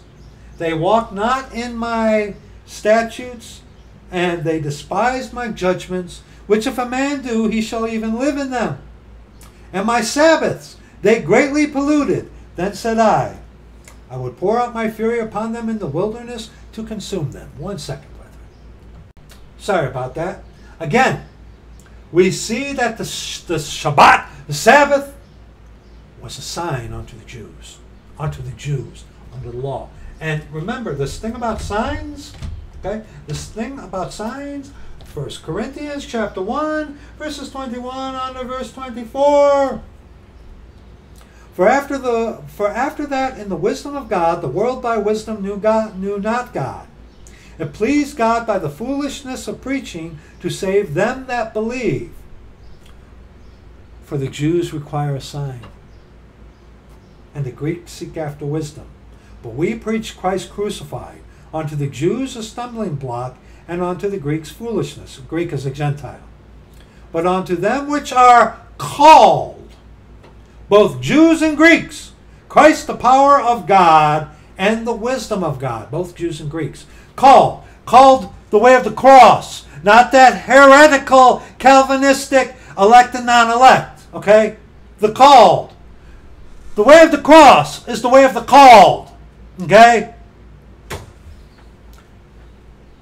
Both Jews and Greeks, different dispensation. But the Jews require a sign, okay? And remember, like, like I had mentioned, go now to Deuteronomy chapter 4, verses 5 and 8. Deuteronomy chapter 4, verses 5 on to verse 8. Under the law, the, the Jews were given the statutes, the commandments, the oracles of God. Unto them were the oracles of God committed. Okay? Why? To be a sign unto them, yes, but also why? Deuteronomy chapter 4, verses 5 on to verse 8. Behold, I have taught you statutes and judgments, even as the Lord my God commanded me, that ye should do so in the land whither ye go to possess it. Keep therefore and do them. For this is your wisdom and your understanding in the sight of the nations, which shall hear all these statutes, and say, Surely this great nation is a wise and understanding people. For what nation is there so great, who hath God so nigh unto them, as the Lord our God is in all things that we call upon him for? For what nation is there so great, that hath statutes and judgments so righteous as all this law, which I set before you this day? See, even under the Old Testament, under the law, the Jewish people were called to be God's witnesses unto the nations. Similar to us, the church of God, the body of Christ, the church of the living God, which is the pillar and ground of truth, comprised of both Jews and Gentiles. See, that, that idea that God has a people called out to be witnesses unto those of the nations, those who are not of us, was even found in the Old Testament. Okay? It wasn't just for their benefit, but that they may be a witness and a testimony unto the world, unto the nations about them. You see that? Okay? Now go to Galatians chapter 3. Galatians chapter 3. Okay? Galatians chapter 3, the perfect place where you run into Judaizers who want to bring you under the law. Whether they want to bring you under a Kabbalistic type of law, which is not true Judaism, or they want to bring you to under the law of the Catholics or of the Puritans. Okay? Galatians is your book where you combat this. Okay? Galatians chapter 3, verses 23 on to verse 29. Remember, but before faith came, we were kept under the law, shut up unto the faith which should afterwards be revealed. Wherefore the law was our schoolmaster to bring us unto Christ, that we might be justified by faith. See, we're not lawless or without law. We have law that we, the law of Christ, which Paul describes for us in Romans chapter 13, okay, which he describes for us uh, for this dispensation, okay? All right? And that doesn't include keeping the Sabbath. Okay? Idolatry or worshiping false gods? Absolutely. Okay? Uh, Paul talks about that in depth, uh, about, you know, worshiping idols. God forbid, you know. And what do you think what these guys teach is? It's idolatry, okay? But see, keeping the Sabbath is not a requirement today to the Jew first and also to the Greek. Greek is a Gentile. Okay? But after that faith has come, we are no longer under a schoolmaster. For ye are all children by God of God by faith in Christ Jesus. For as many of you as have been baptized into Christ have put on Christ. There is neither Jew nor Greek pertaining to salvation. Culturally, but yes, that's a different thing. Okay? There is neither Jew nor Greek. There is neither bond nor free. There is neither male nor female. For ye are all one in Christ Jesus. And if ye be Christ's, then are ye Abraham's seed and heirs according to the promise. Okay? And that one thing there about to the Jew first, uh, and also to the Greek, uh, Romans chapter 1, just one verse. Romans chapter 1, Romans chapter 1, verse 16. Okay? Romans chapter 1, verse 16 and 17. For I am not ashamed of the gospel of Christ. For it is the power of God unto salvation to every one that believeth, to the Jew first, and also to the Greek. Greek is a Gentile.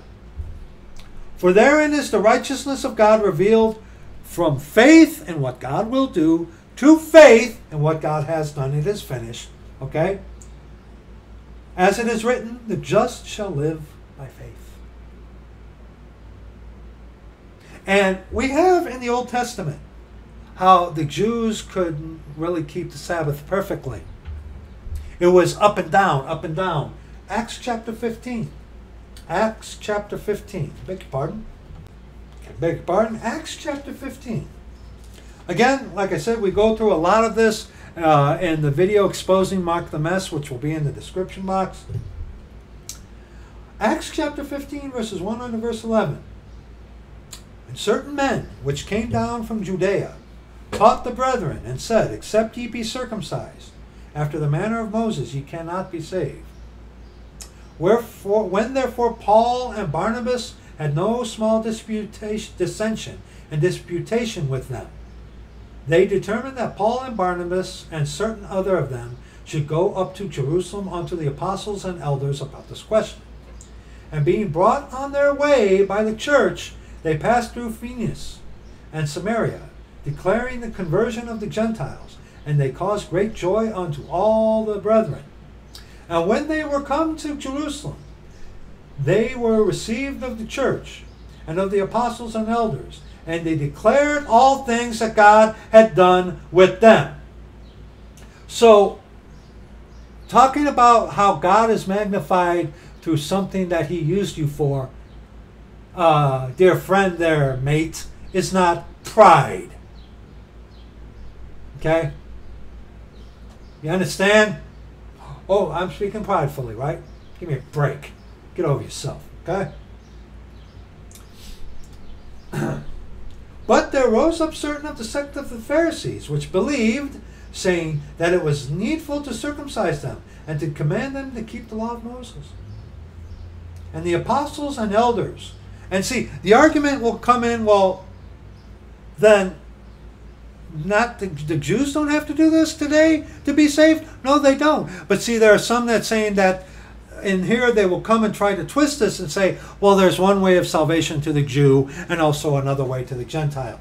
That's a mode of hyperdispensationalism. That there are two bodies, one of the Jew and one of the Gentile. But uh, that's heresy. No. There's one way of salvation today in this dispensation to the Jew first and also to the Greek. The Greek is a Gentile, okay? Okay? And that doesn't involve keeping the law. Okay, let's continue. And the apostles and elders came together for to consider of this matter. And when there had been much disputing, Peter rose up and said unto them, Men and brethren, ye know how that a good while ago God made choice among us, that the Gentiles by my mouth should hear the word of the gospel and believe. And God, which knoweth the hearts bear them witness, giving them the Holy Ghost even as he did unto us. And put no difference between us and them, purifying their hearts by faith. Now therefore, why tempt ye God to put a yoke upon the neck of the disciples, which neither our fathers nor we were able to bear? But we believe that through the grace of our Lord Jesus Christ, we shall be saved even as they. Even as they. The Jews, we have the testimony that the Jews could not keep the law perfectly. And they got ridiculous about the Sabbath, getting tedious making it more complex than it needed to be. Hence, making an idol out of it. The Sabbath, which is Saturday, is not a requirement for salvation today. To the Jew first, Now therefore, why tempt ye God to put a yoke upon the neck of the disciples which neither our fathers nor we were able to bear? And also to the Gentile. Sabbath is not a requirement. Okay? Sabbath is not a requirement. But see, the heresy now comes in. The heresy comes now when you got people saying that, well, that was for the Jews, yes, but today, today, we have the Christian Sabbath. Yeah, that's how it used to be. See, the Catholics are do not rightly divide the word of truth, but see, they teach replacement theology, and they want to replace Sunday worship, which they call the Christian Sabbath, for the actual Sabbath, which the Scriptures does not support. And they they mention the first day of the week. Okay, first day of the week. All right, let's go to this first day of the week, uh, Mark chapter sixteen. Okay, now there is legitimacy to the first day of the week, and let me first let me say right away, there is nothing wrong with you wanting to put aside your day to worship the Lord on Sunday, the first day of the week. There's nothing wrong with that. Okay, if you want to do that, knock yourself out. If you want to do it on the Sabbath, knock yourself out. Okay? We're going to look at what Paul said about how one man esteemeth one day above another. Okay? As a day to worship the Lord. Okay? We're going to look at that. But let's uh, this thing about the first day of the week.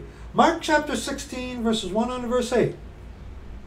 And when the Sabbath was past, Mary Magdalene and Mary the mother of James and Salome had brought sweet spices that they might come and anoint him. And very early in the morning, the first day of the week, which is Sunday, they came unto the sepulchre at the rising of the sun. And they said among themselves, who shall roll us away the stone from the door of the sepulchre? And when they looked, they saw that the stone was rolled away, for it was very great. And entering into the sepulchre, they saw a young man sitting on the right side, clothed in a long white garment, in a long white garment, and they were affrighted. And he said unto them, and he saith unto them, Be not affrighted, ye seek Jesus of Nazareth, which was crucified. He is risen he is not here. Behold, the place where the Lord where they lay him. Go your way, tell his disciples and Peter that he goeth before you into Galilee. There shall ye see him, and as he said unto you. And they went out quickly, and fled from the sepulchre, for they trembled and were amazed. Neither said they anything to any man, for they were afraid. So you see the first day of the week, uh, when the Lord was resurrected, the first day of the week, Sunday. Okay? If you want to honor the Lord on Sunday when he was resurrected, great! Go for it. Great, go for it. But it is not the Sabbath. It's not the Sabbath. Okay? But this shows that it was the first first day of the week. Okay? First day of the week. Absolutely. Now go to Acts chapter 20. Acts chapter 20. Okay? Acts chapter 20. Again, first day of the week. Acts chapter 20. Acts chapter 20, verses 1 on to verse 7. After the uproar was ceased, the one in Ephesia, uh, Ephesus, where people were saying, Great is Diana of the Ephesians, Paul called unto him the disciples and embraced them, and departed for to go into Macedonia. And when he had gone over those parts, and had given them much exhortation, he came into Greece, and there abode three months. And when the Jews laid wait for him, as he was about to sail into Syria, he proposed to return through Macedonia. And there accompanied him into Asia Sosipater of Berea, and of the Thessalonians, Aristarchus, and, Sec, and Secundus, and Timoth, Secundus, and Gaius, of Derbe and Timotheus, and of Asia, Tychicus and Trophimus. These going before tarried for us at Troas. after we sailed away from Philippi, after the days of unleavened bread, and came unto them to Troas in five days, where we abode seven days. And upon the first day of the week, when the disciples came together to break bread, Paul preached unto them, ready to depart on the morrow, and continued his speech until midnight. Boy, you want to talk about long preaching? Yeah. Some of you gripe about two hours. Yeah. Yeah, and we were to read on to verse 7. Now, look at verse 7. Uh, upon the first day of the week, when the disciples came together to break bread, that is the day on the first day of the week, on this particular circumstance, when they got together. Okay? Now, the first day of the week, when the Lord was resurrected, yes, that's fine. Praise the Lord. But show me where it's commanded to meet on the first day of the week. It isn't. It isn't. They thought it meet because it's Sunday, the first day of the week, the Lord's day, the Lord's day. Revelation chapter 1. Revelation chapter 1, verse 10. Revelation chapter 1, verse 10. Okay? Revelation chapter 1, verse 10. I was in the Spirit on the Lord's day. The Lord's day when he was resurrected. Sunday. Okay? And heard behind me a great voice as of a trumpet. The Lord's day. So these people were getting together on the Lord's day. Were they commanded to do so? No. They chose the Lord's day. It was meet, obviously. The day he resurrected. Obviously, yes. But is it a replacement for the Sabbath? The Lord's day. No, it isn't. The Sabbath was a sign unto the Jews. Okay? The Lord's day, when he rose, rose from the dead, the first day of the week, Sunday, the day after the Sabbath. They chose to worship on that day, to get together to break bread. Is that a commandment that we are to be getting together on the first day of the week for everybody? Every every week? No. Show it to me. It's not there. It's not there. It's not there, dear friend. Acts chapter 16. Acts chapter 16. Or, excuse me, 1 Corinthians chapter 16, verses 1 on to verse 3. 1 Corinthians chapter 16, verses 1 on to verse 3. Now concerning the collection for the saints, as I have given order to the churches of Galatia, even so do ye. Upon the first day of the week, let every one of you lay by him in store, as God hath prospered him, that there be no gatherings when I come. And when I come, whomsoever ye shall approve by your letters, then will I send to bring your liberality unto Jerusalem. So there again you see the gathering together on the first day of the week. Was it a commandment? Is it commanded to worship, gather together on the first day of the week? No. That's when they chose to. Yes, it was proper. Yes, it was meet because the resurrection, the Lord's day. Absolutely. Is that a replacement for the Sabbath? No. Because the Sabbath was a mandatory thing under the law to be right with God, to be saved in that dispensation. And if you didn't do it, we've already looked, you would be, number one, you could lose your life or be cut off. And salvation is of the Jews. But they chose the first day of the week. Now, granted, granted, it's meet, it's proper. If you want to meet on Sunday, praise the Lord. If you want to have fellowship with one another in somebody's house and worship the Lord, read scripture, uh, sing hymns, great. It's not a commandment. It's not a commandment. And and and, and then they, they take this and then they go to Hebrews chapter 10, go back to Hebrews chapter 10, and this uh, they do this to justify their ridiculous phallus houses, their church buildings, which come from paganism, Catholicism. They come to Hebrews chapter 10 uh, verses 19 on to verse 25. And see, they associate this with getting together in a building. With a building. Hence, they make the building necessary for Catholicism teaches that you gotta without church there is no salvation, and they mean a building. These Christians today, these I've heard it. These Christians say unchurched people that a church building is uh, necessary for your salvation, and then they come to Hebrews chapter ten, verses nineteen on to verse twenty-five. The book of Hebrews, written for the Jews during the time of Jacob's trouble. Having therefore, brethren, boldness to enter into the holy, holiest by the blood of Jesus, by a new and living way, which he hath consecrated for us, through the veil, that is to say, his flesh, and having an high priest over the house of God, let us draw near with a true heart and full assurance of faith, having our hearts sprinkled from an evil conscience, and our bodies washed with pure water.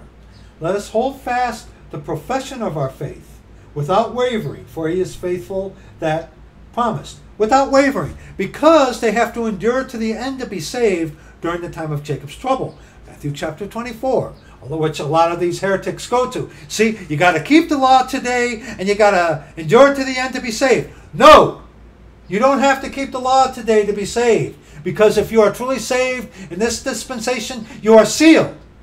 Under the law, there is no permanent seal.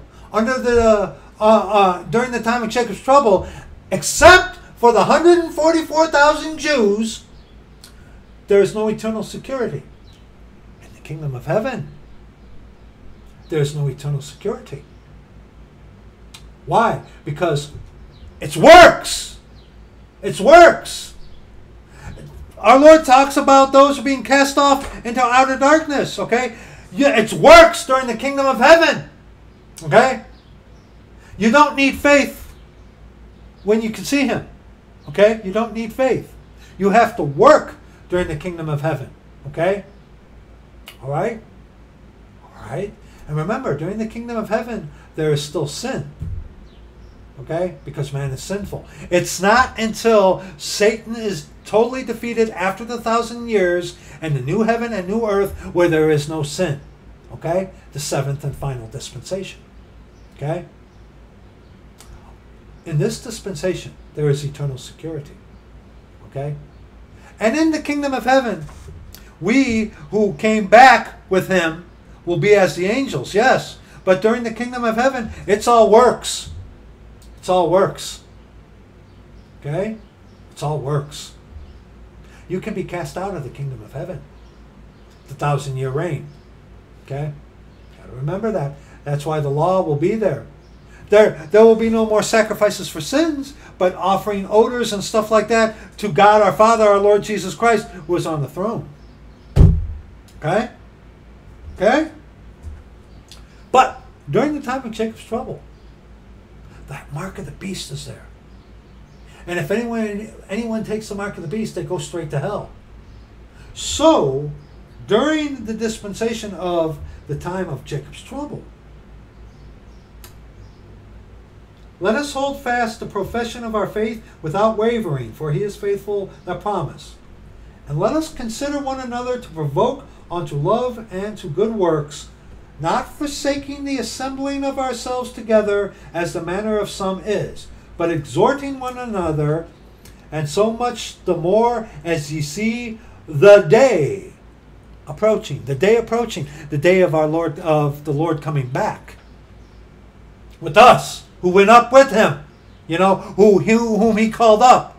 When he come back, he's going to come back with those of us whom he said, come up hither at the redemption of the purchased possession. See, we, when we come back, we're going to be like the angels. See, that's why you need to get saved today, that you can be redeemed at the redemption of the purchased possession. But see, verse 25 is being told unto the Jews during the time of Jacob's trouble. Okay? And unless they mingle together themselves, they will not be able to mingle with anyone who is just anyone who is a Hebrew. Why? Because the mark of the beast is there. Okay?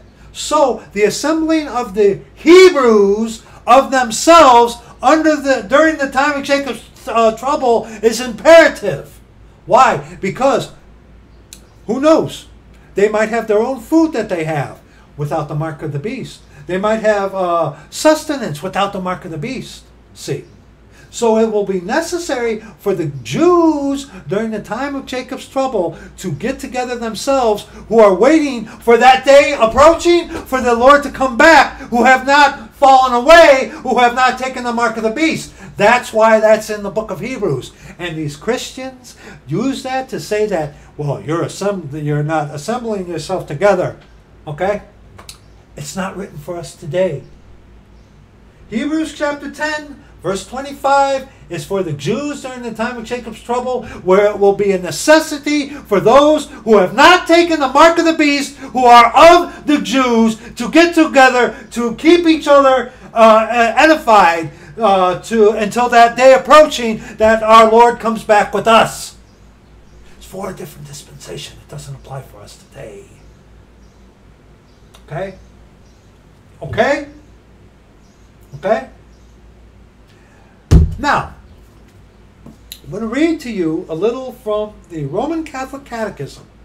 Okay? We're going to, and, and see this? See that? yeah. Yeah. Queen of the world. Queen of heaven.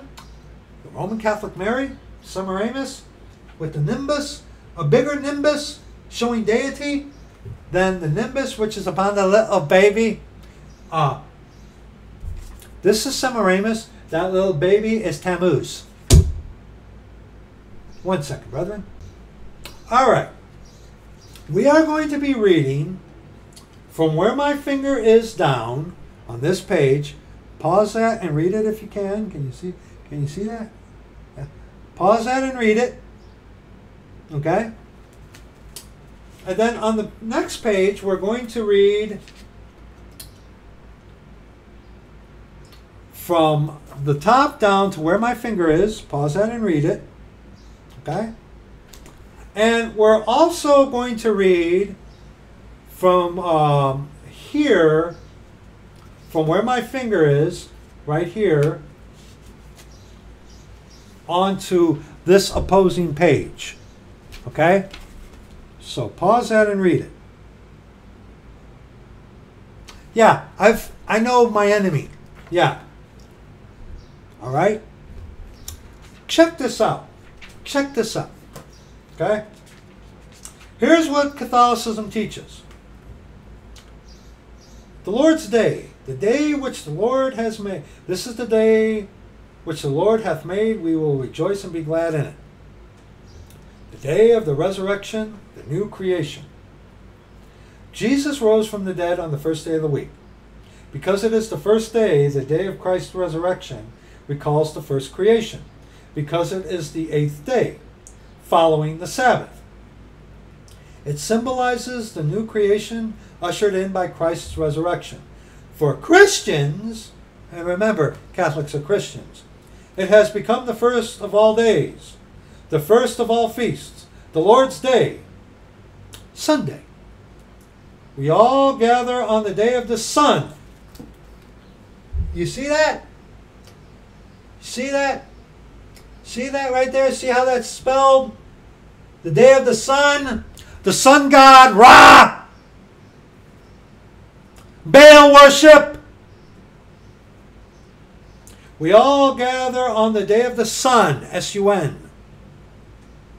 For it is the first day after the Jewish Sabbath, but also the first day when God, separating matter from darkness, made the world. And on the same day, Jesus Christ our Savior rose from the dead. They, they blatantly of the day of the sun. Okay? Not S O N, S U N. Sunday, fulfillment of the Sabbath. Sunday is expressly distinguished from the Sabbath, which it follows chronologically every week. For Christians, it is ceremonial, its ceremonial observance replaces that of the Sabbath. Chapter and verse, please. So, Sunday worship replaces that of the Sabbath. No, it doesn't. We're going to look into the scriptures about this, okay? In Christ's Passover, Sunday fulfills the spiritual truth of the Jewish Sabbath and announces man's eternal rest in God. For worship under the law prepared for the mystery of Christ, and what was done there prefigured some aspects of Christ. Those who lived according to the old order of things have come to a new hope, no longer keeping the Sabbath, but the Lord's day, in which our life is blessed by Him and by His death. The celebration of Sunday observes the moral commandment inscribed by nature in the human heart to render to God an outward, visible, public, and, and regular worship as a sign of this his universal beneficence to all. A sign. A sign, huh? A sign. Who requires a sign? A Jew. But yet these guys call themselves Jews and they are not.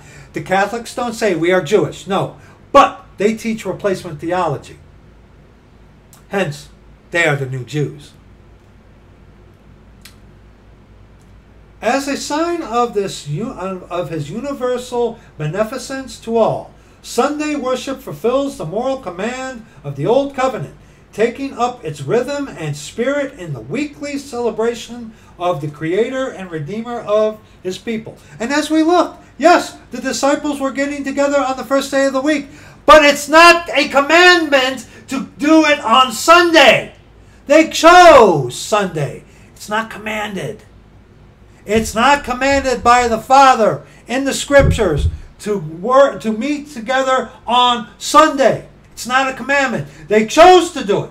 But it's not a commandment as it was the Sabbath. Okay? Now, this practice of the Christian assembly dates from the beginning of the apostolic age. And right here, they're quoting Hebrews. The letter to the Hebrews reminds the faithful not to neglect to meet together as a habit of some, but to encourage one another. And I, we just covered that.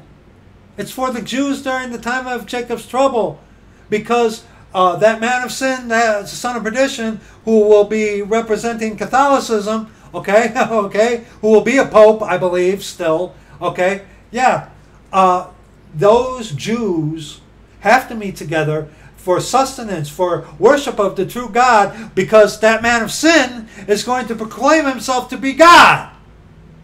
Okay? We've already covered that. Tradition preserves the memory of an ever timely exhortation. Come to church early, approach the Lord, and confess your sins, repent in prayer, be present at the sacred and divine liturgy, conclude its prayer, and do not leave before the dismissal. We have often said, This day is given to you for prayer and rest. This is the day that the Lord has made. Let us rejoice and be glad in it. Uh, how many of you Christians who go to your buildings, uh, how many of you hear that? Before the doors open, right? Confess your sins, repent in prayer. Be present at the sacred and divine liturgy. Pay attention when the pastor's uh, speaking, right?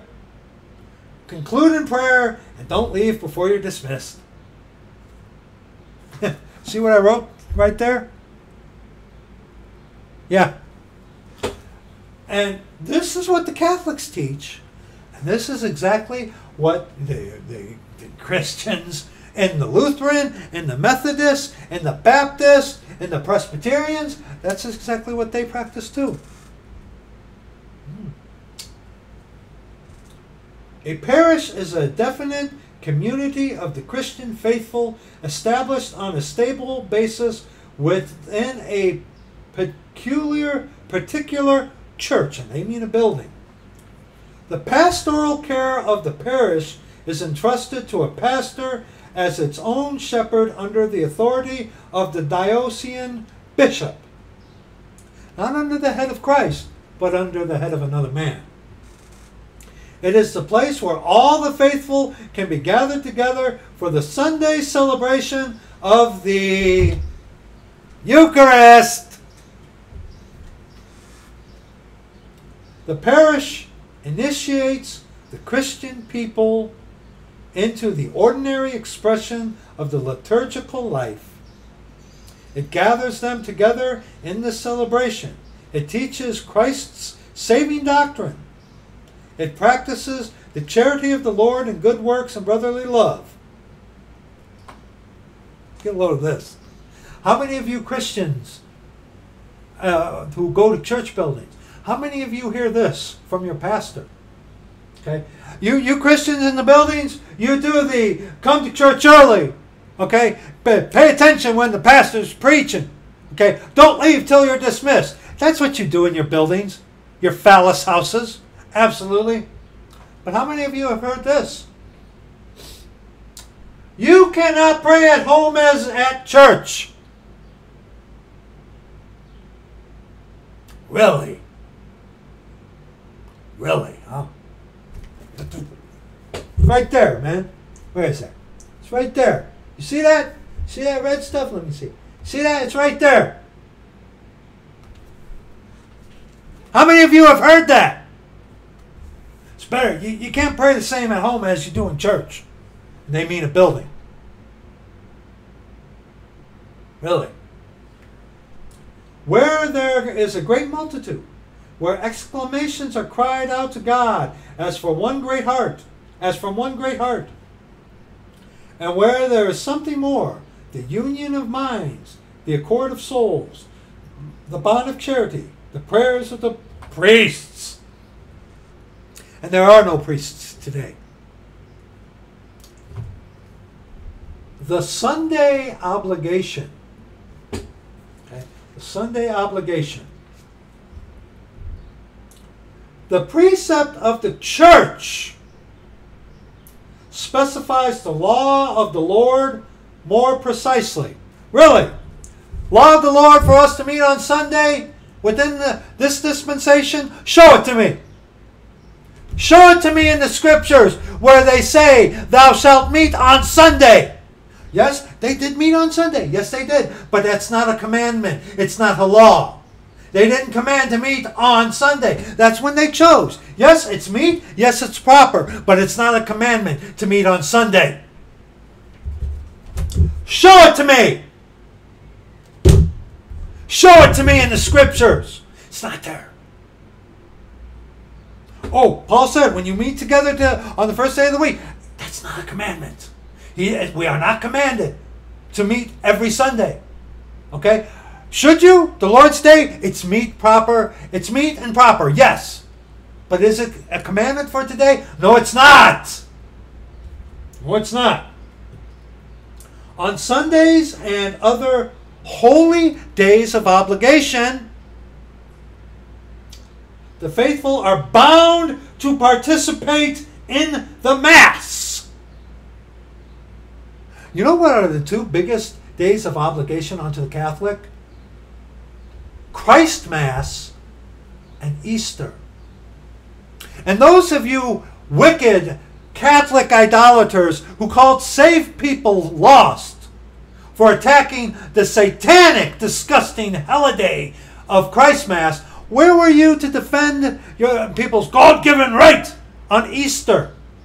Where were you to defend that and call saved people lost who attack Easter? Where were you then?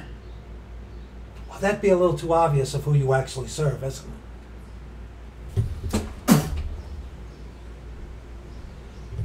Yeah. The precept of participating in the Mass is satisfied by assistance at a, at a Mass which is celebrated anywhere in a Catholic rite, either on the holy day or on the evening of the preceding day. Holy day, huh? What is a holy day? Okay, what is a holy day? The Sunday Eucharist is the foundation and confirmation of all Christian practice. For this reason, the faithful are obliged to participate in the Eucharist on days of obligation, unless excused for a serious reason. For example, illness, the care of infants, or dispensed by their own pastor. Those who deliberately fail in this obligation commit a grave sin. So, unless you're worshiping on Sunday according, according to their own words, you're in sin. See, these guys are replacement theology. They, man, has taken Sunday worship and replaced it with what God said for the Jews on the Sabbath. And you're not going to find it within the scriptures. Yes, the disciples met on the first day of the week. Yes, fine. Praise the Lord. Praise the Lord. But not as by a commandment. They were not commanded on the first day of the week to keep the first day of the week as a day of worship. They weren't. Now, that's from Catholics. Puritans, just a little. Just a little. Just a little. I, I quit reading this. I keep re- I quit reading this because this this got really really um, really bony. Okay, we're going to read a little on this for uh, one page, and um,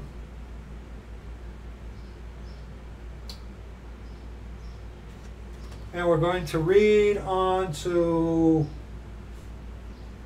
oh uh, well, well here we're going to read this for sure in this book. Okay right here right here. Okay right here all right? And here because I don't know where we're going to quit this page okay? Check this out check this out. And the majority of this book is about now he switches to how Christians are to observe the Christian Sabbath on Sunday. Almighty God will have himself worshiped, not only in a private manner, not only in a private manner by private persons and families, but also in a more public sort, of all the godly joined together in a visible church that by this means he may be known not only to be the God and Lord of every singular person, but also the creature, but also of the creatures of the whole universal world. Question. But why do not we Christians under the new keep the Sabbath on the same seventh day on which it was kept under the Old Testament? I answer because our Lord Jesus, who is the Lord of the Sabbath, and whom the law itself commands us to hear, did alter it from that seventh day to this first day of the week on which we keep the Sabbath. He rose on the first day of the week, but he didn't command the disciples to worship him on, the, on Sunday. Find it for me! After the death, burial, and resurrection, find it for me where we are commanded to worship on Sunday. Yes, they got together on Sunday. Yes, they did. But we're not commanded to do that. Okay? For the holy evangelist notes that our Lord came into the midst of the holy assembly on the first on the two first days of the two weeks immediately following his resurrection, and then blessed the church, breathed on the apostles, the Holy Ghost, and gave them the ministerial keys and power of binding and remitting sins. And so it is most probable he did in a solemn manner every first day of the week. Yea, hath God said. Did you hear that? During the forty days he continued on earth between his resurrection and ascension, for the fiftieth day after, being the first day of the week, the apostles were assembled during which time he gave commandment unto the apostles, and spake unto them those things which appertain to the kingdom of God. That is, instructed them how they should throughout how they should, throughout the churches which were to be converted, change the Sabbath to the Lord's day.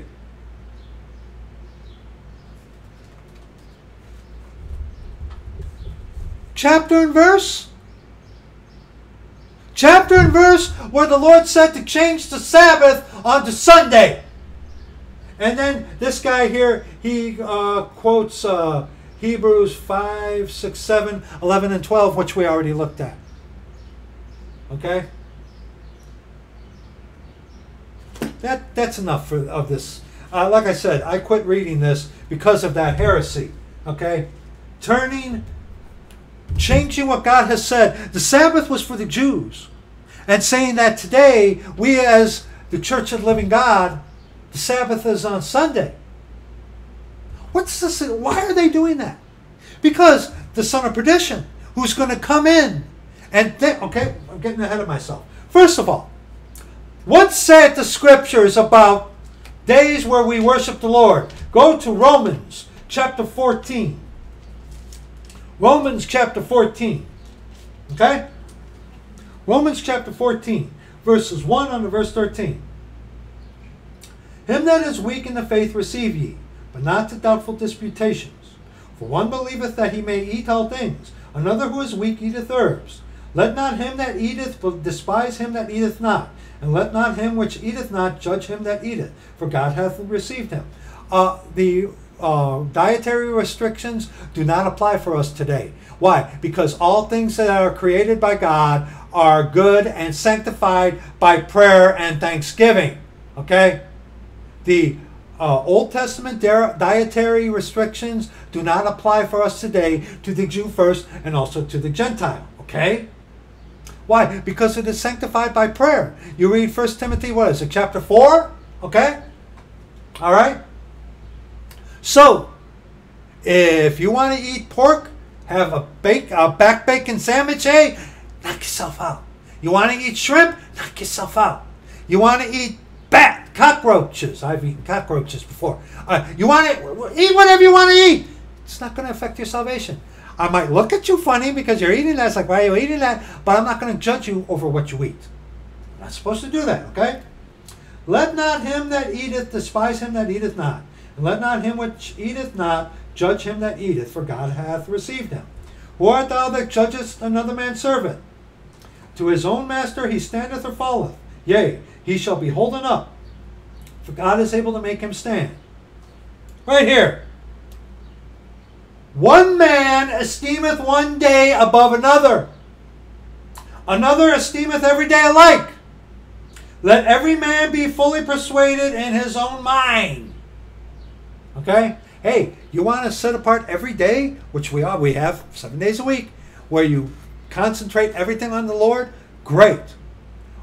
Or if you want to do it on Sunday, you want to do it on the Sabbath, you want to do it on Tuesday, Thursday, Friday, it doesn't matter. Okay? He that regardeth the day regardeth it unto the Lord. And he that regardeth not the day, to the Lord he doth not regard it. He that eateth, eateth to the Lord, for he giveth God thanks. And he that eateth not, to the Lord he giveth, he eateth not, and giveth God thanks. For none of us liveth to himself, and no man dieth to himself. For whether we live, we live unto the Lord, and whether we die, we die unto the Lord. Where, whether we live, therefore, or die, we are the Lord's. Okay? So, looking at verses 5 and 6 again, one man esteemeth one day above another, another esteemeth every day alike. Let every man be fully persuaded in his own mind. They chose to worship, get together on Sunday. Yes, that's meet and proper. But is that a commandment? No. Paul just said, whatever day is, you know, be persuaded in your own mind. Okay? And we are not to judge people on that. Hey, if you are of the Church of the Living God and you want to assign to your, you want to set apart Sunday. It's like, Brad, yeah, Sunday. That's the day that me and my family, we, we choose Sunday to stay at home, read the scriptures, sing hymns, and just give it to the Lord. We choose Sunday. Good for you. Praise the Lord. not going to judge you. Hey, if you want to keep the Sabbath, you want to do it on Saturday, it's like, hey, I, I want to do it on the Sabbath. Good for you. Praise the Lord. You want to do it on Tuesday? Go ahead. Go ahead. Go ahead. See, and also this is giving to us that yes, there ought to be a day, a day out of the seven days. There ought to be at least one day where we focus everything we are onto the Lord. Okay? Hence, see, these people with this heresy come in and try to twist that and say that's the Sabbath. It's not a Sabbath. The Sabbath was given unto the Jews. Okay? A day of rest. Okay? A holy day set apart. Yes. For a day of rest, yes. For a day of rest, yes. But it is not the Sabbath. The Sabbath was required for salvation under the law, and you could die. And as we have heard, Catholics teach you if you don't go to church on Sunday, it's a sin. Hence, going to church on Sunday is a requirement. Not a requirement. It's not a requirement. Any day that you choose to give unto the Lord to be the Lord's day, whether it's actually the Lord's day, Sunday, whether it's the Sabbath, whether it's Monday, Tuesday, Wednesday, Thursday, it doesn't matter. Okay? Let every man be persuaded in his own mind. Okay? Verse 9. For to this end Christ both died and rose and revived, that he might be Lord both of the dead and the living. But why dost thou judge thy brother? Or why dost thou set at naught thy brother? For we shall all stand before the judgment seat of Christ. For it is written, As I live, saith the Lord, every knee shall bow to me, and every tongue shall confess to God so that every one of us shall give account of himself to God. Let us there let us not therefore judge one another any more, but judge this rather, that no man put a stumbling block or an occasion to fall in his brother's way. And I'm going to uh, suggest unto you that those who will get all up in arms about Christ Mass, they're the ones putting a stumbling block in people's way. Okay? And speaking of that, Speaking of that, go to Colossians chapter 2. Go to Colossians chapter 2. Okay? A holy day is a day set apart for the Lord. Well, why can't I have Christ Mass as a holy day? Really? Really? Jesus wasn't born on that day. We are not commanded to worship or to commemorate his birth, rather his death, and all the paganism that is associated with it. Get over yourself. But, okay, they go to Romans chapter 14 to, to justify that. Okay? But here's where they really go to. And herein, you know, the Sunday, the Christian Sabbath. Colossians chapter 2, verses 8 on to verse 17. Beware! Lest any man spoil you through philosophy and vain deceit, after the tradition of men, which the holy, which the holy day of Christmas is, okay? After the rudiments of the world, and not after Christ. Okay? For in him dwelleth all the fullness of the Godhead bodily. And ye are complete in him, which is the head of all principality and power in whom also ye are circumcised with the circumcision made without hands, in putting off of the body of the sin, in putting off the body of the sins of the flesh by the circumcision of Christ. Note the, the way that Paul is saying these things. Circumcision. Note this, okay? Buried with him in baptism, wherein also ye are risen with him through the faith of the operation of God, who hath raised him from the dead. And you, being dead in your sins and the uncircumcision of your flesh, hath he quickened together with him, having forgiven you all trespasses, blotting out the handwriting of ordinances that was against us, which was contrary to us, and took it out of the way, nailing it to the cross. Now, verse 14, he's making mention about that was which was under the law. Okay? Are you with me?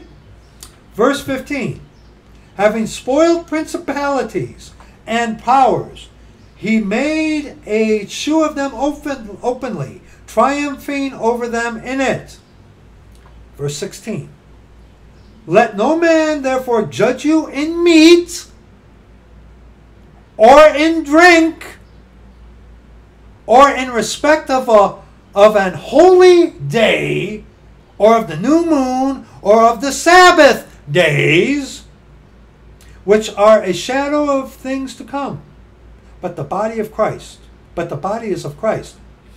Uh, Catholic God, pagan idolaters who want to worship on Christ Mass, okay? They come to verse 16 and call Christ Mass a holy day. Which those of you Christians who get left behind, okay, you watch. I bet you when that man of sin, the son of perdition, is revealed, there's going to be a big to do about Christ Mass. You watch those of you Christians who think you're of the Church of the Living God when you get left behind and you see that man of sin, the son of perdition. He's going to make a big to do about Christmas. And you call that a holy day? Look, look at that verse there, genius. Okay? Judge you in meat. Meat. As of keeping kosher. and drink. Like, oh, the vow of the Nazarite or something like that, right? Or in respect of a holy day. What are the holy days according to Scripture? Oh, those be uh, in you know Leviticus chapter 23, verse 4, the holy feasts of the Lord. A holy day is a day set aside for the Lord. But what are the holy days? Oh, Passover, unleavened bread, feast of first fruits, the feast of harvest, uh, the blowing of trumpets, the day of atonement, the feast of tabernacles. Those are holy days. See, Verse 16, have you, know, have you noticed that what he's referring to are all Jewish? Hmm? Have you noticed that? The holy days that Paul is talking about are reference onto the holy days given in Scripture, which were a requirement under the law to keep but are not a requirement for us today in this dispensation to the Jew first and also to the Greek. The Greek is a Gentile. Again, if you're Jewish, an actual Hebrew, you want to keep these holy days, go ahead. Do I believe you should? Sure. It's not a requirement for your salvation. And see, in context, Paul is talking about when you got Judaizers wanting to come and bring you under the law, to have no one judge you in respect of meat, drink, or of a holy day or of a new moon or a Sabbath. It's in context and reference to the holy days given unto the Jews, not man made ones that worship Satan. And not the Christian Sabbath. As we read in Romans chapter 14. Any day you choose to worship the Lord, do it. Okay? Do it. Do it. Your argument, well, why can't I do it on Christmas? Why Christmas? Knowing with all the evil that is associated with it. And these guys who want to call save people lost for attacking Christ Mass, they do exactly what they accuse others of. They use philosophy and vain deceit. They put a stumbling block in people's way. Beware of them and their pagan idolatry. They don't. They have no idea what. Yes, you have the liberty, but is it, is it expedient? Does it edify? like I said, you watch you Christians that get left behind. That man of sin, the son of perdition, is going to make a big to do about Christ Mass because those are the big two holidays, holy days unto the Catholic. And you, a select few who called save people lost for attacking Christmas, where were you to defend Easter? Where were you? That'd be a little too obvious, wouldn't it? And remember too, uh, in Isaiah chapter 1, Isaiah chapter 1, we're almost done. Isaiah chapter 1, verses 10 on to verse 15. I personally believe that the Lord hates these man made holy days. I really do. Prove it to you. Well, here, I'll give you some instruction in righteousness here in Isaiah chapter 1, verses 10 on to verse 15. Hear the word of the Lord, ye rulers of Sodom. Give ear unto the law of your God, ye people of Gomorrah. To what purpose is the multitude of your sacrifices unto me, saith the Lord? I am full of the burnt offerings of rams, and the fat of fed beasts. And I delight not in the blood of bullocks, or of lambs, or of he goats. When ye come to appear before me, who hath required this at your hand to tread my courts? Now this is under the law given unto the Jew. But our instruction in righteousness, uh, uh, who hath required this at your hand to tread my courts? Who said that Sunday is the required day of worship? Man. Catholicism. That's who. Not the Lord. Yes, yes, we looked at it. They got together on the first day of the week. Yes. But not by commandment. Not by commandment. Hmm. yeah. Bring no more vain oblations. Incense is an abomination unto me. The new moons, the Sabbaths, the calling of assemblies, I cannot away with. It is iniquity. Even the solemn meeting. Your new moons and your appointed feasts. Christ. My soul hateth. They are a trouble unto me. I am weary to bear them. And when ye spread forth your hands, I will hide mine eyes from you. Yea, when ye make many prayers, I will not hear. Your hands are full of blood. And as far as the Christian Sabbath, Sunday worship, look at look at how look, look at how they, they they we heard it. If you don't go to church on Sunday, you're in sin. You got to be there before the doors open, right? You're in sin if you aren't going to church on Sunday. We heard it. Where do you think these church buildings get that? Right here, not from the scriptures. It's whatever day you choose to worship the Lord. Whatever day you choose.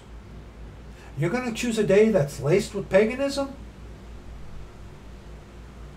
You have the liberty to do so. Yes, you do. But it's not going to profit you. And it's not expedient. And you actually, I believe, offend our Lord. But yes, you have the liberty to do there. You know, you, you guys would say, oh, it's a liberty. You don't even know what liberty is. Rather, you use it for your idolatry. Okay? Uh, and Isaiah chapter 58, while we're on this, okay? Isaiah chapter 58. It's whatever day you want to choose to set aside. And yes, we uh, it's evidence that, yes, we are to set aside a day for the Lord. But it is not the Sabbath. The Sabbath was given unto the Jews. Okay? Isaiah chapter 58, verses 3 under verse 7. Wherefore have we fasted, and they say they, and thou seest not? Wherefore have we afflicted our soul, and thou takest no knowledge? Behold, in the day of your fast ye find pleasure, and exact all your labors. Behold, ye fast for strife and debate, and to smite with the fist of wickedness. Ye shall not fast as ye do this day, to make your voice, to make your voice to be heard on high. Is it such a fast as I have chosen? A day for a man to afflict his soul? Is it to bow down his head as a bulrush and to spread sackcloth and ashes under him? Wilt thou call this a fast and an, and an acceptable day to the Lord? Is this is not this the fast that I have chosen? To loose the bands of wickedness, to undo the heavy burdens, and to let the oppressed go free, and that ye break every yoke? Is it not to deal thy bread to the hungry, and that thou bring the poor that are cast out to thy house? When thou seest the naked, that thou cover him, and that thou hide not thine, and that thou hide not thyself from thine own flesh? And look at verses 13 and 14. in Isaiah 58. Okay? If thou turn away thy foot from the Sabbath, from doing thy pleasure on my holy day, and call the Sabbath a delight, the holy of the Lord, honorable, and shalt honor him, not doing thine own ways, nor finding thine own pleasure, nor speaking thine own words, then shalt thou delight thyself in the Lord, and I will cause thee to ride upon the high places of the earth, and feed thee with the heritage of Jacob thy father. For the mouth of the Lord hath spoken it. See, it's on to the Jews. The Sabbath was for the Jews, not for us today. There is no Christian Sabbath. It's whatever day you choose. Okay? Okay? And this you can't pray at home as you do in church. The body is the church of the living God. And you have God within you. What better way to pray than a solemn prayer by yourself unto the Lord? Give me a break. Give me a break. Okay? Give me a break. And don't forget, 2 Corinthians chapter 11. 2 Corinthians chapter 11. It is Satan who is all about this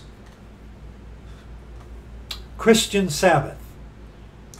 2 Corinthians chapter 11, verses 12 on to verse 20. But what I do, that I will do, that I may cut off occasion from them which desire occasion, that wherein they glory, they may be found even as we. For such are false apostles, deceitful workers, transforming themselves into the apostles of Christ. And no marvel, for Satan himself is transformed into an angel of light. Therefore, it is no great thing if his ministers also be transformed as the ministers of righteousness, whose end shall be according to their works. I say again, let no man think me a fool. If otherwise, yet as a fool, receive me, that I may boast myself a little. That which I speak, I speak it not after the Lord, but as it were foolishly, in this confidence of boasting. Seeing that many glory after the flesh, I will glory also.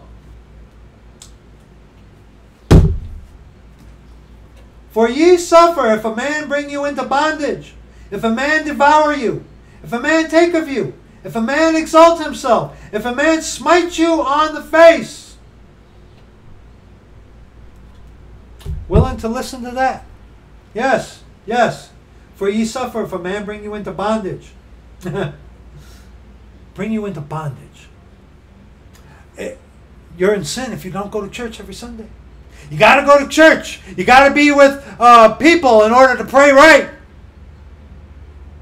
You got to have the Eucharist every Sunday. Yeah. Yeah. Bringing you into bondage. And as you heard, Catholics teach that you're in sin if you don't go to church every Sunday. And Galatians, of course, chapter 3. Galatians chapter 3. Galatians chapter 3, verses 1 on to verse 5. Oh, that's Corinthians, excuse me. Galatians chapter 3, verses 1 on to verse 5. O foolish Galatians, who hath bewitched you, that ye should not obey the truth? before whose eyes Jesus Christ hath been evidently set forth, crucified among you. This only would I learn of you. Received ye the Spirit, capital S, by the works of the law, by the hearing of faith? Are ye so foolish, having begun in the Spirit, are ye now made perfect by the flesh? Have ye suffered so many things in vain, if it be yet in vain? He therefore that ministereth to you the Spirit, and worketh miracles among you. Doeth he it by the works of the law, or by the hearing of faith? Hmm. Who has bewitched you? And see, a big thing to do with this. The whole thing about, you know, Brother Alberto Rivera talked about how Catholicism was big on replacing the Sabbath with Sunday worship, the Christian Sabbath. Okay? And today, like I, we, we've already shown, it's not a requirement today to the Jew first and also to the Gentile, okay? It's not a requirement today. But see, during the time of Jacob's trouble, the Sabbath, the law is going to return. They're going to be doing animal sacrifices under the, uh, uh, according to the scriptures during the time of Jacob's trouble. Okay? And then midway during that time of Jacob's trouble, that man of sin is going to appear. Okay? All right? And today, if you want to worship on Sunday, which, yes, they got together first day of the week, it wasn't commanded. It's not a commandment to worship on the first day of the week. That's when they did. Is it a good idea? Sure. Is that where they get it from? Yes, but it's not a commandment. Lying. Lying. It's not a commandment. Okay? Any day that seems right unto you, okay? That's what the scriptures teach. Okay? All right? And about this thing, about going, if, you know, like Seventh day Adventists and like Marc the Mess, people like, you got to keep the law in order to be saved. Yeah. Uh, Galatians 5, verses 1 on to verse, uh, verse 9. Stand fast, therefore, in the liberty wherewith Christ has made us free, and be not entangled, and be not entangled again with a yoke of bondage. Behold, I, Paul, say unto you, that if ye be circumcised, go under the law, Christ shall profit you nothing. I testify again to every man that is circumcised, that he is a debtor to do the whole law. Christ is become of no effect unto you. Whosoever of you are justified by the law, ye are fallen by uh, fallen from grace. Ye are fallen from grace. For we through the Spirit wait for the hope of righteousness by faith. For in Jesus Christ neither circumcision availeth anything, nor uncircumcision, but faith which worketh by love. Ye did want run well. Who did hinder you that ye should not obey the truth? This persuasion cometh not of him that calleth you. A little leaven leaveneth the whole lump. And remember, during the time of Jacob's trouble, okay, that man of sin, son of perdition, Second Thessalonians chapter 2, Second Thessalonians chapter 2, verses 3 under verse 5, okay? Second Thessalonians chapter 2, verses 3 under verse 5. Let no man deceive you by any means, for that day shall not come except there come a falling away first, uh, second, uh, second, First John chapter two, verse nineteen. They went out from us, but they were not all of us. But they went out, but they were made manifest that they were not all of us. Okay, that's the falling away. Okay, and that man of sin, the son of perdition, and that man of sin be revealed, the son of perdition, inaccurately referred to as the Antichrist who opposeth and exalteth himself above all that is called God or that is worshipped, so that he, as God, sitteth in the temple of God, the third rebuilt temple, shewing himself that he is God. Remember ye not that when I was yet with you, I told you these things? And Daniel chapter 7, Daniel chapter 7, verse 25 Okay, Daniel chapter 7, verse 25. Let me get there. Or if you have, if you've gotten there already, you see that in Daniel chapter 5, verse uh, uh, Daniel chapter 7, verse 25. You see that? Okay, I'm finally there. Okay.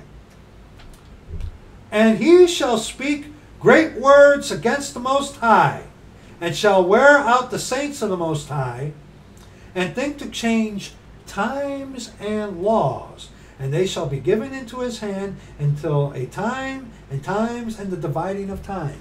Change times and laws.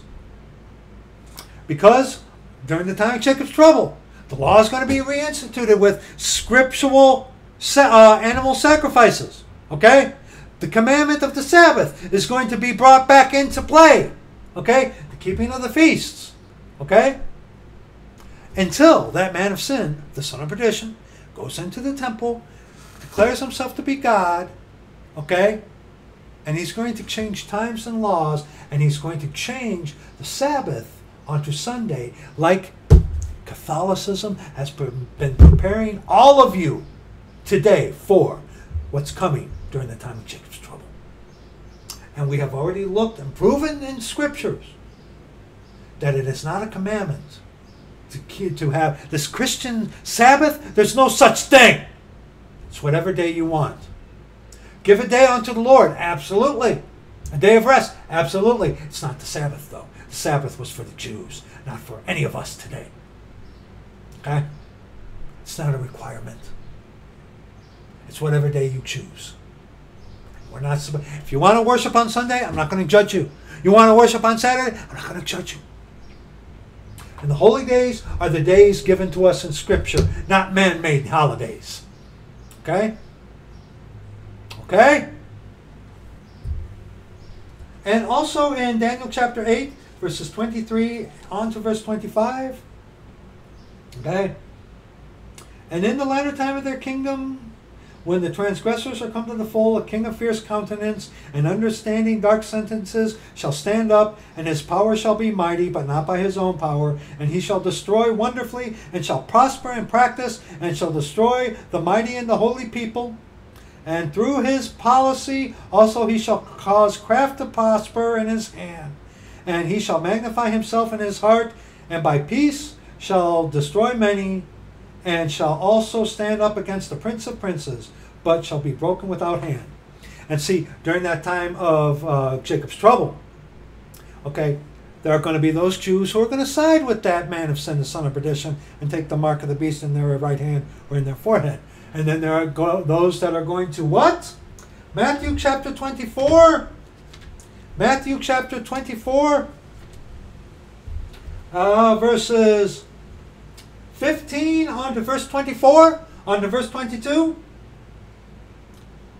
When ye therefore shall see the abomination of desolation, a title for that man of sin and son of perdition, spoken of by Daniel the prophet, stand in the holy place, whoso readeth, let him understand. When the son of perdition stands in the thir- third rebuilt temple, declaring himself to be God, then let them which be in Judea Flee into the mountains.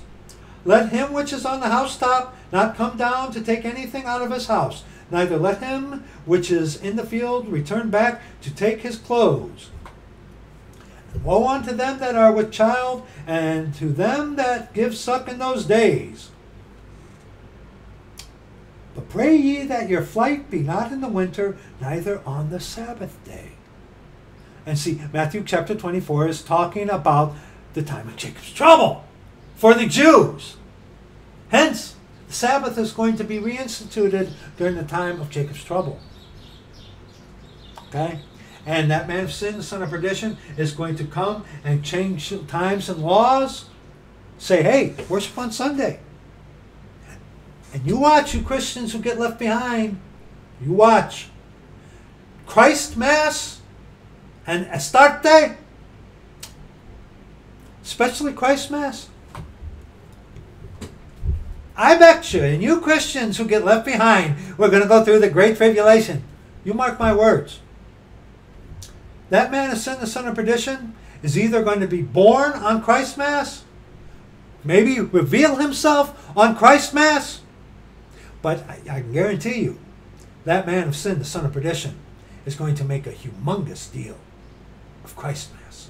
Why? Because Christ Mass is a Roman Catholic pagan holiday. You watch, you Christians who get left behind. You watch. You watch. You watch. Verse 21, because I said on to verse 22, For then shall be great tribulation, such as was not since the beginning of the world to this time, no, nor ever shall be and except those days should be shortened, there should no flesh be saved, but for the elect's sake, talking about the Jews, those days shall be shortened. See, the problem is Revelation chapter 2. Revelation chapter 2, verse 9, just one verse. I know thy works and tribulation and poverty, but thou art rich. And I know the blasphemy of them which say they are Jews, and are not, but are of the synagogue of Satan. Catholics do not say they are Hebrews or Jewish, but they teach replacement theology. The, the, the Sunday worship has replaced the Sabbath. Scriptures teach no such thing. Or black Hebrew Israelites. Okay? They say they are Jews and are not, and want to bring you under the law. And Revelation 3, verse 9. Behold, I will make them of the synagogue of Satan. And see, right now, these heretics, they say, well, see, it's the Jews. No, no. Synagogue of Satan, a building of Satan, a holy place of worship. Synagogue of Satan, it's talking about the, uh, the Christian Catholic church buildings, church buildings, synagogue of Satan, of Roman Catholicism, which say they are Jews and are not, but do lie. Behold, I will make them to come and worship before thy feet, and to know that I have loved thee. See, you got people out there who say that they are the apple of God's eye, when the Jew is the apple of God's eye. Looking to change times and laws. Okay? And they tell you, we, we, we read it. We read it. Catholics, as well with the Puritans, taught the that it was a commandment to worship on Sunday. It isn't. It isn't. It's whatever day you chose. They chose now, they gave an example about Sunday. Yes, they did. I'm not denying that at all. But it's not a commandment. You don't want to worship on Sunday, don't. I, we don't. Okay? We don't. Whatever day is meet, that's the day that we give unto the Lord. And this thing about replacing the Sabbath for Sunday worship, it's going to reach its fulfillment during the time of Jacob's trouble. Okay? But as we have seen, the Sabbath, man turned the actual Sabbath into an idol, as they have turned Sunday worship into an idol. Okay? The Sabbath was given unto the Jews during the time, during the dispensation of the law. It was a requirement for their salvation. Okay? Under this dispensation, yes, we should get together. Yes, we should. Okay? And Hebrews chapter 10, verses 19, verse 25, specifically does not apply for us today. Okay? And if a man wants to worship on Sunday, Saturday, Monday, we are not to judge. Okay? Because the law has been fulfilled. Okay? So the keeping of the Sabbath is not a requirement to the Jew first and also to the Gentile. If you're Jewish, like I said, sure, go ahead and keep it, but it's not a requirement. And the ones that are making a big stink about the Christian Sabbath come from Catholicism. And John Calvin He was a Catholic. He, he turned his back on Catholicism, but he, like his boy Martin Luther, they wanted to reform Catholicism. Like I've always said, Martin Luther wanted it to be the German Catholic Church.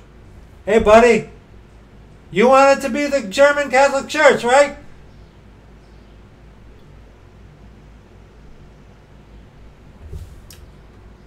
Let no man judge you in regards of meat, drink, or of a holy day, the new moon, or the Sabbath, all references onto Jewish customs, onto the Jewish holy days, not man made ones.